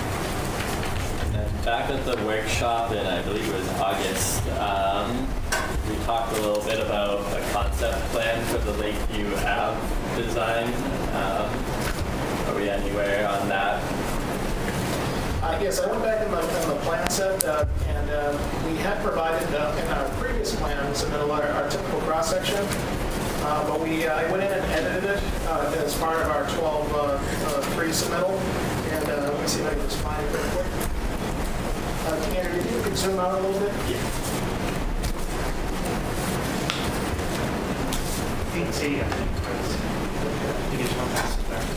Okay, thank you. Uh, So the, the cross-section is a typical cross-section is shown here, if you wanted to blow that up, Andrew. Yep.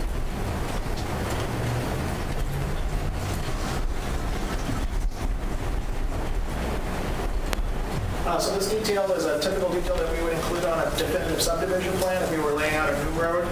Uh, This comes right from the, uh, the town of Reading's typical uh, cross-section. Uh, We've edited it a little bit because Lakeview Avenue is a variable, has a variable width right-of-way. In some sections, it's a 44-foot layout. That's, we call it the property line of the road, if you will. Um, So from private property to private property, across most of this, good section of it is 44 feet. There is a portion that's only 35 feet wide. And so uh, the the uh, proposal for the roadway construction is full depth reclamation, uh, and then providing 26 feet of pavement. Uh, The existing width of um, pavement on the street varies anywhere from 24 to 26 feet today. And then vertical granite curbing on each side, which doesn't exist today. It's a, it's a mishmash. Uh, In some cases, there's no curbing, and some of it's uh, bituminous. It's in, uh, very much in disrepair.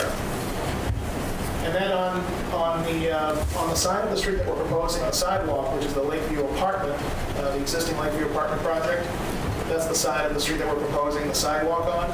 Uh, There is enough room to have a five-foot sidewalk. Uh, What we're proposing to do is have it, uh, have it be right, uh, right along, uh, right next to the the curbing of the road, uh, which would allow us to have a small grass strip of uh, two feet on either side along those sections of Lakeview Avenue that, uh, with a right-of-way that is only 35 feet wide. Across the portions that, that have more than 35 feet or in the 44-foot dimension, uh, we would just have a larger grass strip on each side. So that's the proposal. Great. Thank you.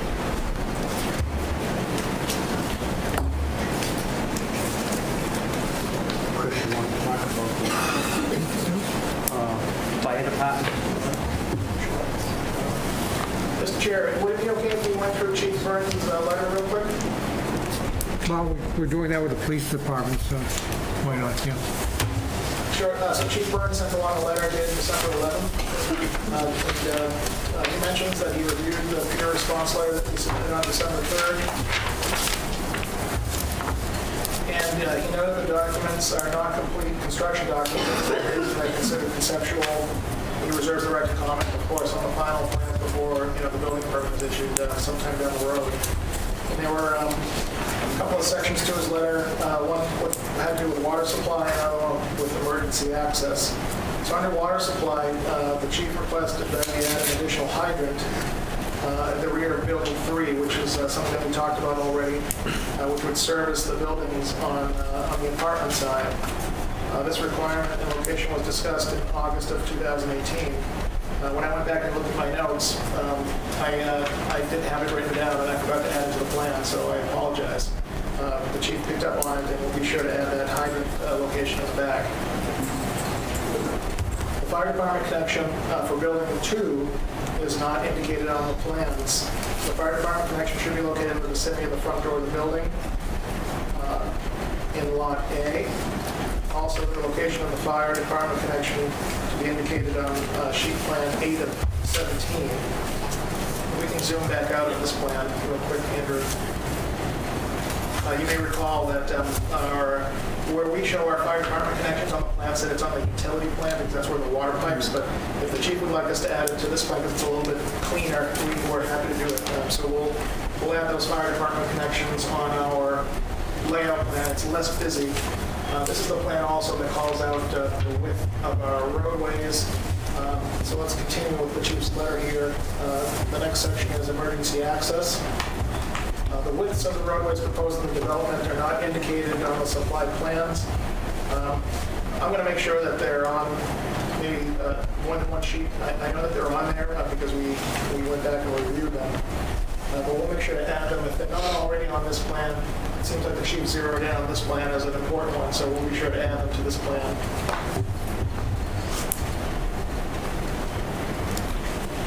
Lot A, uh, is depicted on sheet 8 of 17, which is the sheet that's up on the screen now, proposes a one-way access road off Eaton Street. Uh, the Massachusetts Comprehensive Fire Code 5.7 CMR 1, Section 18.2.3.4.1.1 requires single-lane fire department access roads to have a width not less than 20 feet. Uh, So I- I'm positive that we uh, comply with that. And then the fire department requires two-lane roads to be 24 feet width, which uh, we we changed for the fire chief after our last meeting uh, with him in August. Turning radius should also be included on the plans. Uh, So we, we explained the turning radiuses that we provide uh, for the chief, and they were adequate, but um, they're not, I know they're not, those are not labeled, we'll add those labels uh, to the curving so that you can see those turning radii. Roadways of less than, of 24 feet or less must be posted with no parking signs, and permission must be granted to the Reading Police Department to ticket vehicles at no parking areas. Uh, I don't know if we have any conditions uh, where we are going to have roadways of 20 24 feet or less. Um, As I mentioned before, the improvements on Lakeview, I believe, are 26 feet of pavement, so that, uh, that may not be necessary. The size and placement of the loading zones in the areas indicated on sheet plan 8 of 17 presents an obstacle to emergency access. Uh, These are some of the excerpts I read earlier. Additionally, the Eaton Lakeview Department, uh, E- Eaton Lakeview Development Loading Zone, second page, the parking regulations stated in number 15 indicate the section 1.5, loading zone rules and regulations, the loading zone will be used for overflow visitor parking at the discretion of management. Parking in the proposed loading zone area is indicated has the potential to constrict the roadway. Consistent roadway width must be maintained around the proposed buildings. So we're gonna make sure that we comply with that. We've talked about that already tonight. Sheet plans 10 and 11 of 17 indicate snow storage locations. Snow storage is not permitted to reduce roadway widths or block access to fire department connections. The snow and ice removal plan should also address clearing snow from fire department sprinkler connections. Uh, We'll be sure to update our, our snow plan to, uh, to reflect that. Parking on Lakeview Avenue and Eaton Street must also be addressed. These existing road, roadway widths are not sufficient for parking in front of the development proposed for lots A and B. These areas should be posted with no parking signs, and mentioned that a little bit earlier tonight, and, uh, you know, we're happy to, we're happy to do that uh, if it uh, satisfies, you know, the the local requirement for, for uh, fire safety. That's the chief's letter.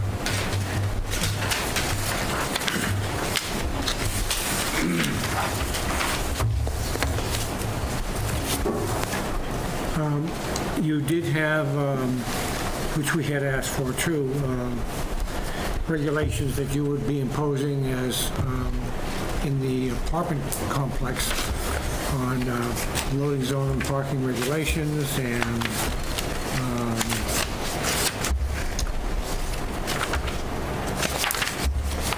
uh, there's compen- compensatory flood floodplain storage volume calculations, you have that, and then the ice and snow removal. And then the last section, um, we talk about the management aspects of it. I think you had put in something on that also, uh, which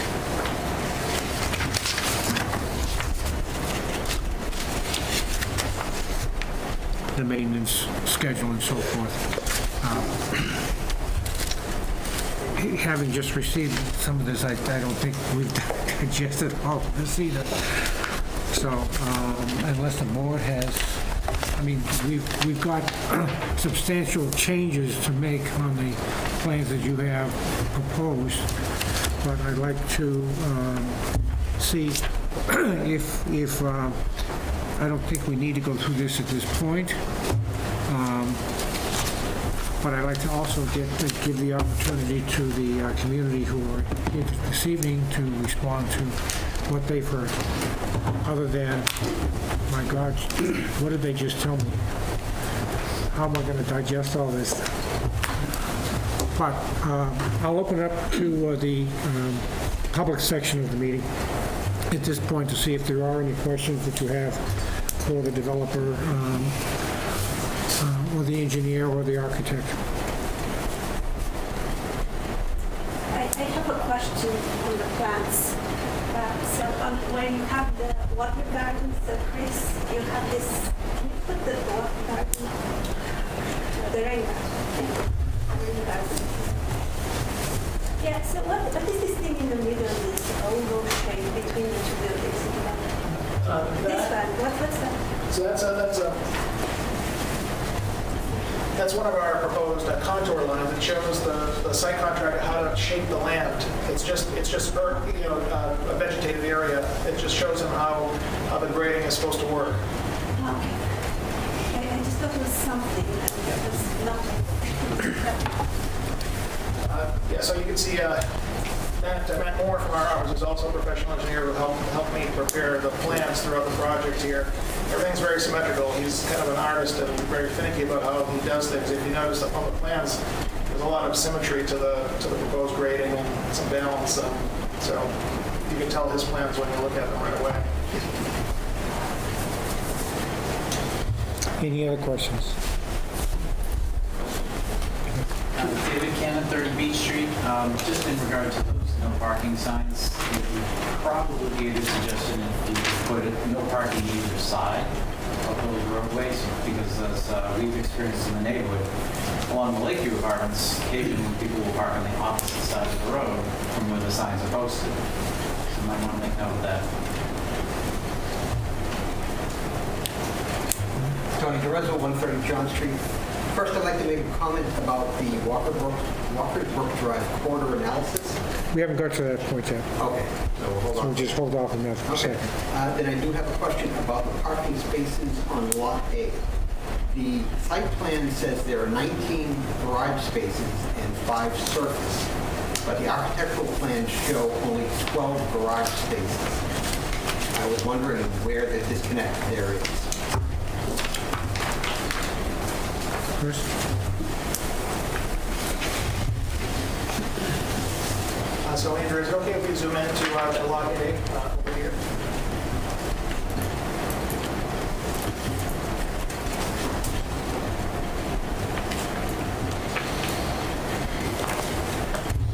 Uh, So the plan, uh, the plan provides for uh, one-car, uh, one-car garages on the, uh, on the townhouse projects, but we have enough room to park two vehicles in the driveway in front of each unit. So if we uh, kept the garage, inside garage space as one space, and then the other space that's not in front of the garage as the second space, that's, that's where that, um, that why that might appear to be a discrepancy. Uh, But each of the units has um, uh, the ability to have two uh, parking spaces, one inside and one outside in front of each of the units.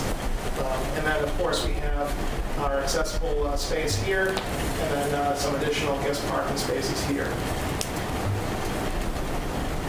Mr. Chairman, wouldn't that be 24 spaces for garage and then five surface, for total 29? I I believe you were talking about using the combination of the two lots to get your minimum number of uh, parking spaces in at one time. Yeah, let me just go back. Uh, So the gentleman is, uh, we can update, um, we can refer to them as garage spaces, but technically there are only 12, 12 garage spaces. The total number of parking spaces on the Lot A um, is that number, but um, but we can, we can change that, uh, that label so that it's, uh, it's just 12 garage spaces, only one garage for each one of those, uh, each one of those units.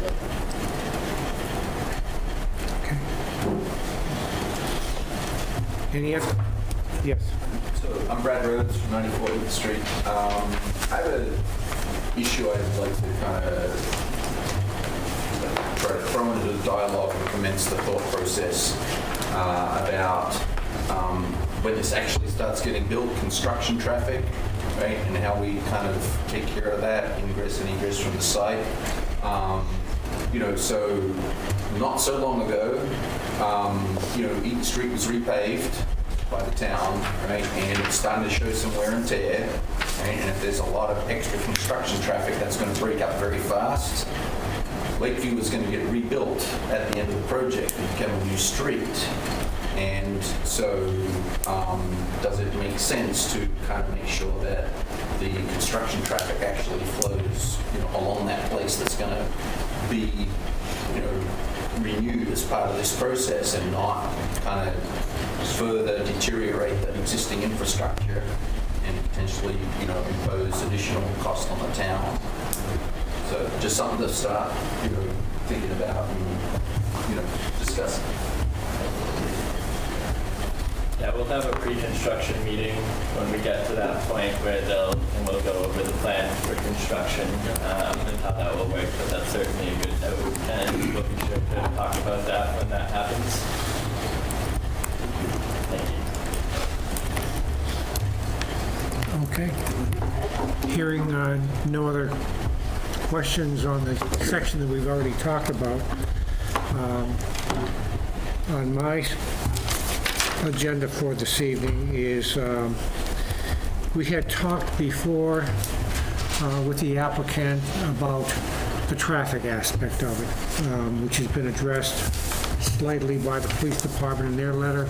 Um, We've talked about it beforehand. Um, I believe the applicant, um, through its team, has talked about um, the actual corridor is- is- itself, which is the, uh, that he would be, or they would be willing to um, be involved in uh, some of the discussion on how the town was going to look at this corridor down the road and uh, contribution towards that. We haven't gone any further than that, except to say that we have before us what we asked for, uh, and we have this evening, um, a request uh, for a bid from uh, Green um, to look at the Walkers Brook Drive Comprehensive Corridor Analysis and Conceptual Redesign. Uh, We've drafted a scope and sequence for that, for Green International, um, which we have in front of us this evening. I think you have it, Ted, and your team has it. Um, We're looking at that. We haven't resolved the issue of what we're going to do at the time that the occupancy permit is granted, um, or people actually move in either to the condos and/or to the apartments. But this is a longer range uh, because we know that we have issues because it's a major intersection within the town.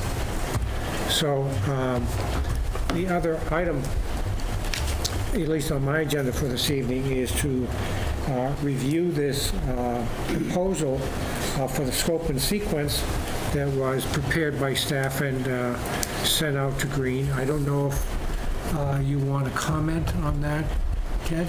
Uh, I don't believe we're really prepared to do that because our traffic engineer is is not able to be here. Uh, We are, of course, in favor of the, of the corridor study. In fact, we, we had suggested it, and as you indicated a few minutes ago, we had agreed to contribute a reasonable amount toward, toward that study. Uh, We've never defined Exactly. what that is. Uh, I have no problem listening to you folks this evening. What I would like to do is have Kim here at whatever the next meeting is, uh, to give whatever his input is, and to authorize the, uh, your engineer to talk with him in the meantime so that a presentation can be made similar to what we've done on on, uh, engineering, so you'd hear from uh, your traffic review, your peer review engineer, uh, and from Kim. Um, And then you can decide what, you how you want the- the scope to be defined. And at some point, you know, we need to talk about the specifics of uh, what's a reasonable contribution.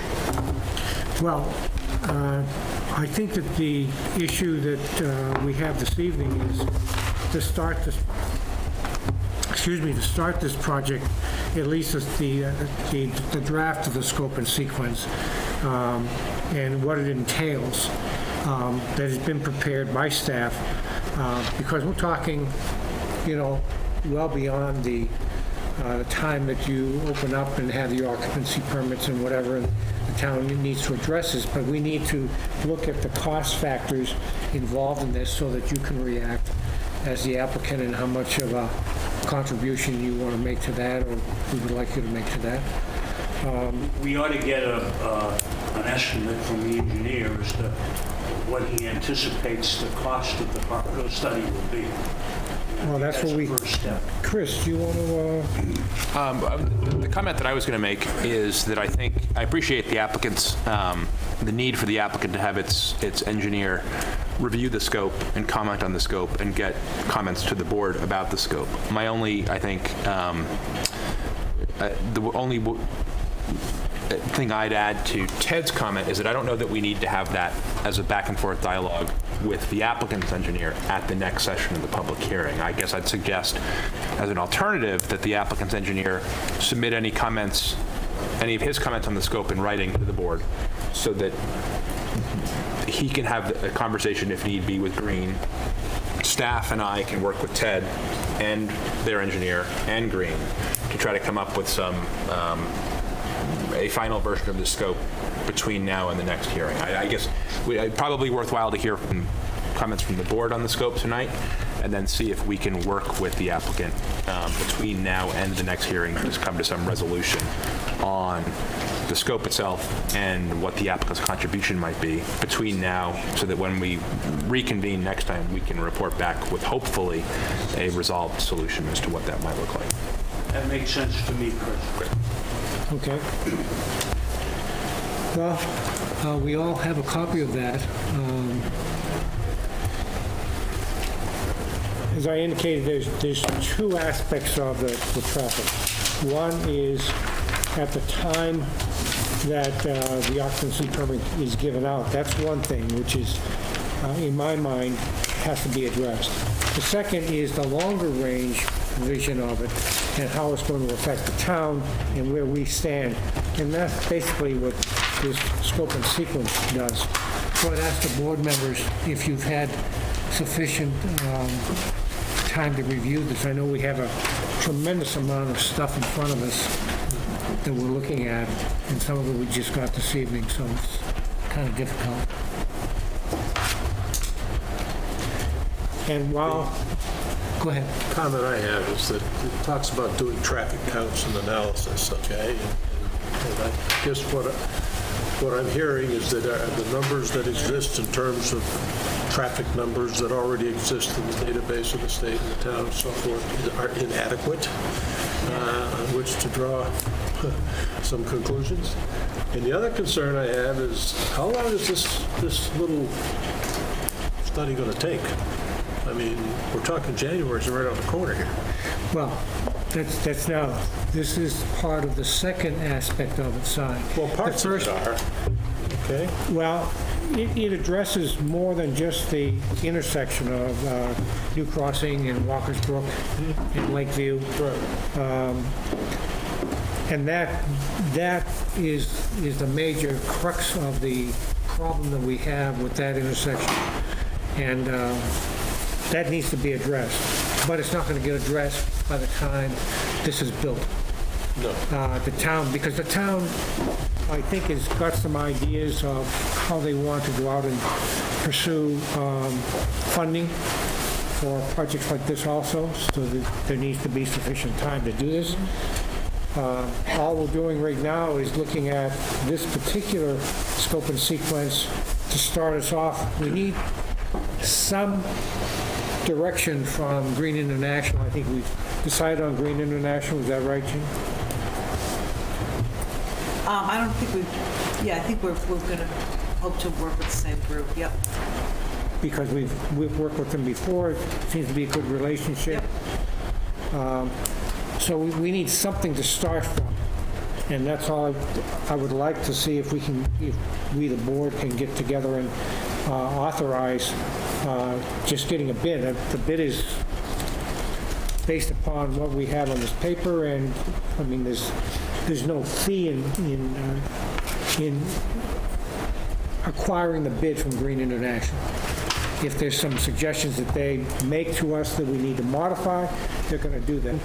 Um, The is not as data specific as we would like it to be in today's um, numbers. Um, with- But I think this is some of the things that we were going to get back from any scope and sequence that we put out there. Um, I guess I would, I would like to see what comments that the rest of the board members have in getting this out there and um, getting it started. The actual traffic mitigation for the project, immediate mitigation for the project at the time of the occupancy permits, that's another issue that we need to talk about, and certainly your engineers, uh, Ted, and uh, peer review engineers need to be involved in that. Uh, That's going to come up. We also have to decide tonight when we can meet next, um, because we're running out of time. Um, I don't think we have anything left in December that we can utilize. We have other things going on. Um, Other people have projects that they- that they want to run by the board and get uh, permission to move forward on. Um, So we're looking at uh, the month of January right now, not to confuse things, but we're looking at the month of January um, right now, and uh, I think we just reserved the one date, which was the, not the, not the second, the, uh, was it the ninth? The 16th is reserved regular 16th, I'm sorry, the 16th, for the regular meetings that we have scheduled. And then the other Wednesdays, um, we're going to make available, depending upon your availability, to drive this home. We would like, I think, the board would like to get, get this wrapped up uh, no later than the end of January, so we can move on the uh, decision because that needs some time for uh, town counsel to move and, and get together and solidify before we actually take the vote. Uh, Chris, did I, I think that sounds uh, right to me. I think that sounds right. I guess the only other thing I'd suggest is that i- i- the board might want, it it might be appropriate at this time to, although there's a a number of issues remaining to be resolved, it might be appropriate at this time to have um, a draft decision start to be worked up um, that includes all the kinds of boilerplate conditions the ZBA usually applies to comprehensive permit projects, um, findings of fact that describe this project. Um, Probably worth, in, in very short order, getting a draft decision worked up and starting to circulate it. Uh, Again, I certainly don't mean to suggest that that kind of decision at this point would bind the board in any way, but it would be helpful to start framing um, the issues that remain to be resolved, some of the issues that are probably already worked out, um, and start talking about what that decision would look like. So I guess whatever the next, the only other suggestion I'd make is that whatever the next meeting date we choose is, we probably want to get a decision, uh, first draft decision circulating well before then, so the board can start looking at it.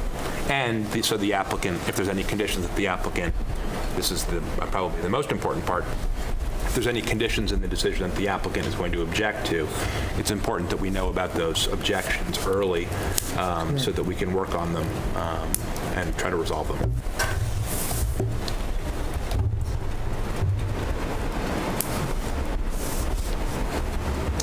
I don't, I don't think there's any question that we're looking at um, moving forward on this project.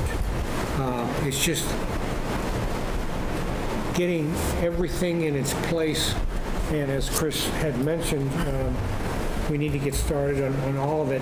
We're running out of daylight, and we need to get that done. So um, I'll take uh, input from the board. Um, I would like to get uh, a vote from the board on the Walkers Brook Drive Comprehensive Corridor- Corridor Analysis and Conceptual Redesign out to bid, if that's okay with the board. I don't think motion I'd have that? anything to add to it, John. I, I looked at the staff and uh, obviously the Green, they're the professionals on this, and uh, they put this together. I I would say it's fine with me. I I wouldn't have anything to add to it, sir.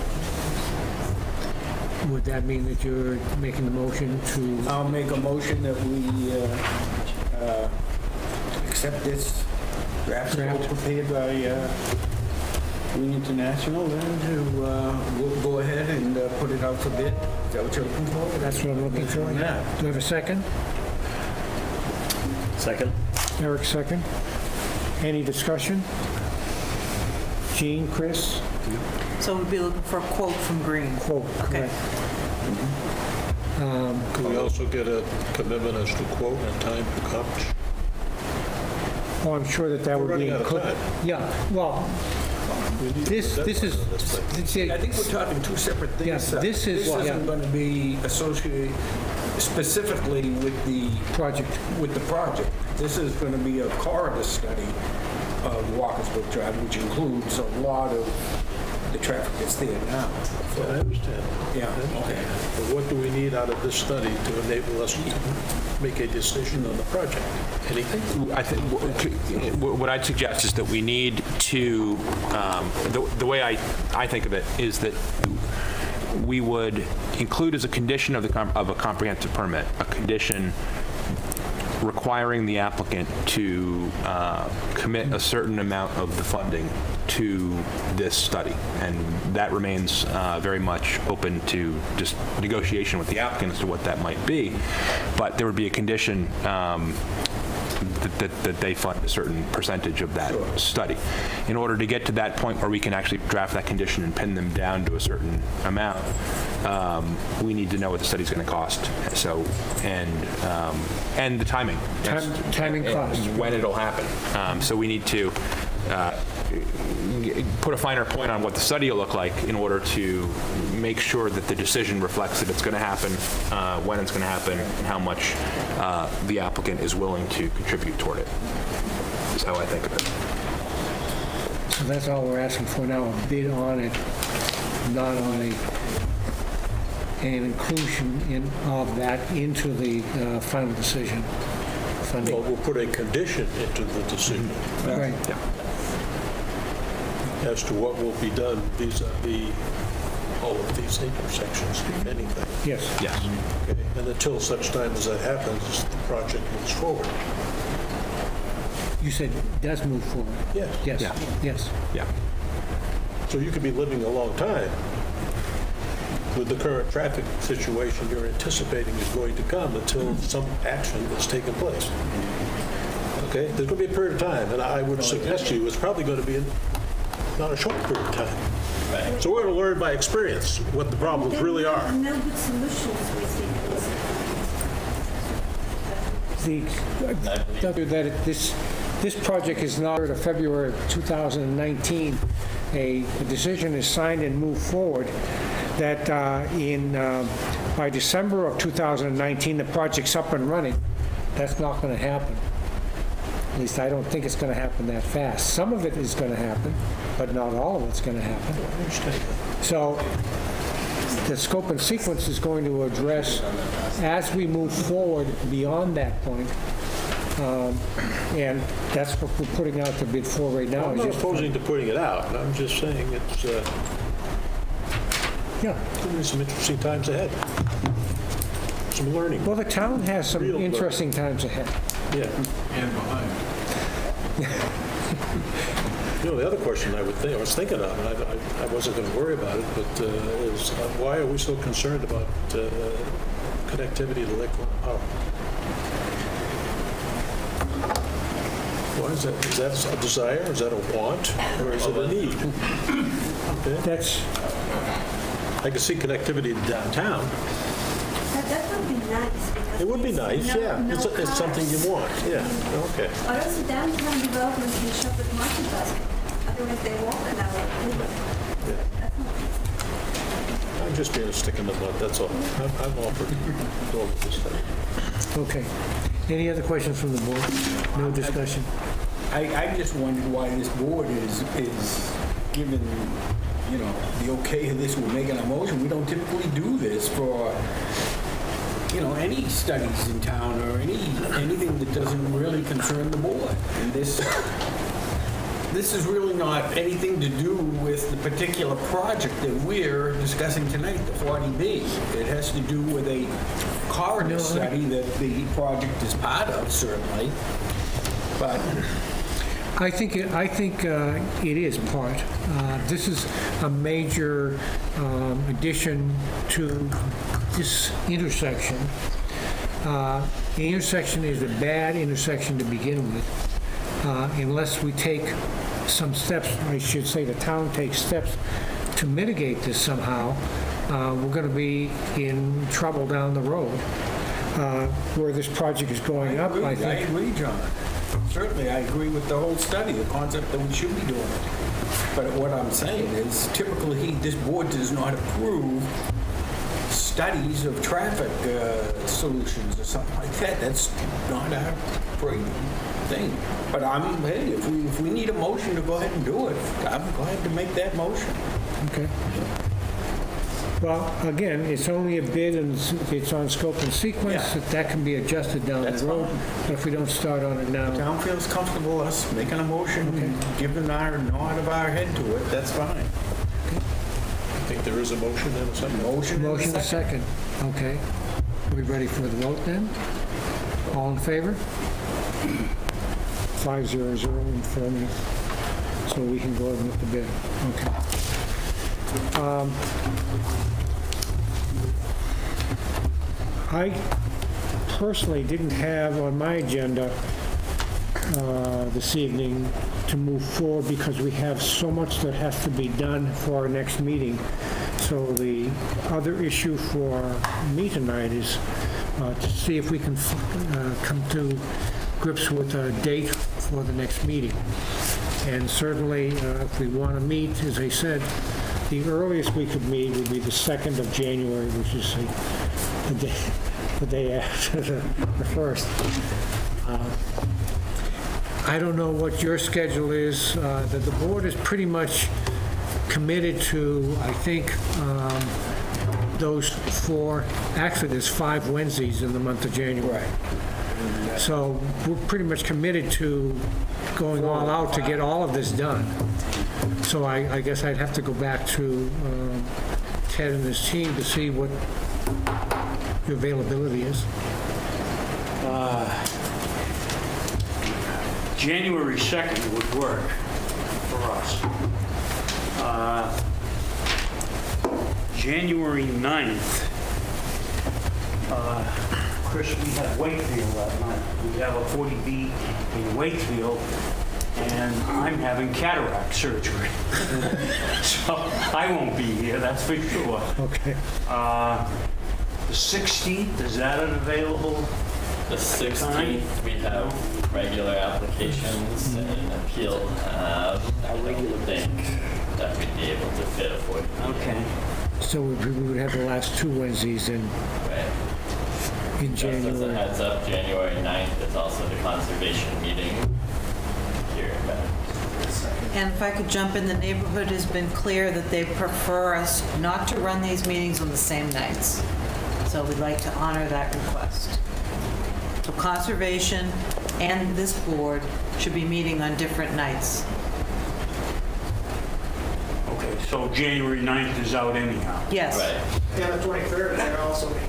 Right, exactly. So, Meets on the 23rd? So the 23rd wouldn't work either. yeah, they meet the 9th and 23rd. So, so the next meeting after that would be the 30th.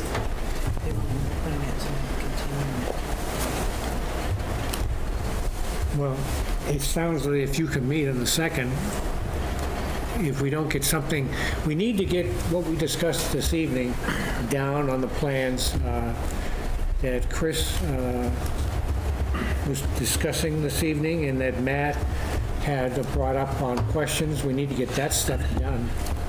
Um, And that can be done by the 2nd. So that, that, Well, then maybe uh, the and then other, we can have the discussion, further discussion on the corridor study. And well, how about, uh, if- I don't know if we can get it done that soon, but we certainly can have the discussion on the um, scope, mit- mit- mitigation on, on the project itself. okay? And if you can get your engineers and our peer engineer can address that on the second, that'll be the other aspect of it. Gene? Um, I was going to suggest maybe looking at Thursdays Great. to add more dates in mm-hmm. January. Can you explain what you mean by the mitigation? Are we going to do anything at the intersection of Walkers Brook and Lakeview? That has not been determined yet. The scope is a larger area. I understand. The other issue is where do we stand? And we haven't come up with that. We- We're talking back and forth, and that's what we're trying to talk about now. Ted? Th- Thursdays are a lot better from a conflicts point of view with other hearings. Me too. Right, Chris? Um, Yeah, except 10th and 17th. Conservation Commission. Well, you'd have, the board would have to do a 16th and a 17th, because the 16th will be our regular scope of meetings.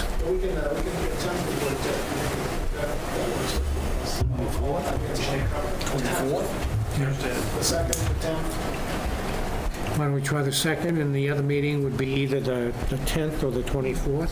Right. 110 works. 110 and 124. 10th, We have four dates. January 2nd, January 10th, January 24th, and January 30th. Yeah.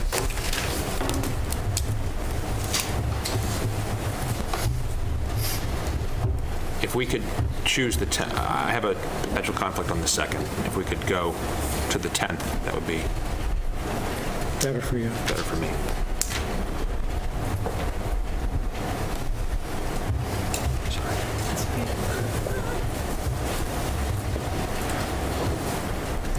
Gene, you don't count, you gotta be at all of them, right? The expectation is very clear. How how about, So the 2nd, the 10th, the 24th, and the 30th, okay. Let me see. so the 10th would work for you? 10th would work for us. And it sounds like 10th would work for the board members? Mm-hmm. Yep. Okay. And the 10th would work for Chris? Yep. So no January 2nd. No. Get rid of January 2nd, and we'll go to the 10th. Yep. And then we'll leave open uh, the 24th and the 30th, Right. if we have to. And then if, for the 10th, we'll also start looking at the uh, draft decision that uh, you're going to be working up. We'll prepare a draft decision. uh, I think we may already, staff has already done uh, Staff some of that. some, a good, good, good degree of that, um, and circulate that to the board in advance of that meeting. I guess I'd suggest that also, um, um, also the applicant's traffic engineer, we should ask, get comments on the scope in in writing. Um, I think ideally not just in advance of the board, the board's packet going out, but maybe early so we can start talking about that amongst ourselves. Okay. Everybody seem to be okay with that? Okay. Um, Then the only other question I have, is is there any other business before the board this evening? Do we have any un- unanswered questions? No? We're set for the, the 10th then? And we know what we're going to do So on the we'll update on the engineering, uh, hear from Matt as well, uh, talk about the corridor study, uh, uh, hopefully the draft decision. The draft have a decision. draft decision. Yep. And the, uh, the mitigation on And the the, mitigation, on the uh, traffic right. for the project. Chair, can can I make a comment on the mitigation part? Uh, Just really quick. Well, Because I want to just put it in everyone's head before we go for the next meeting, before they think about it. That's all. fine. One and only one. Don't do anything. Leave it as is. We've heard that. Okay. Well, you seem to keep wanting to do more. It's, That's, that- again, that's a board decision. That's a not a, that's, I'm making the correct. okay. So, hearing nothing before the board the rest of this evening, I'll take a motion for adjournment. So moved. Sai, second? Second. Eric, all in favor? Five zero zero. We are adjourned.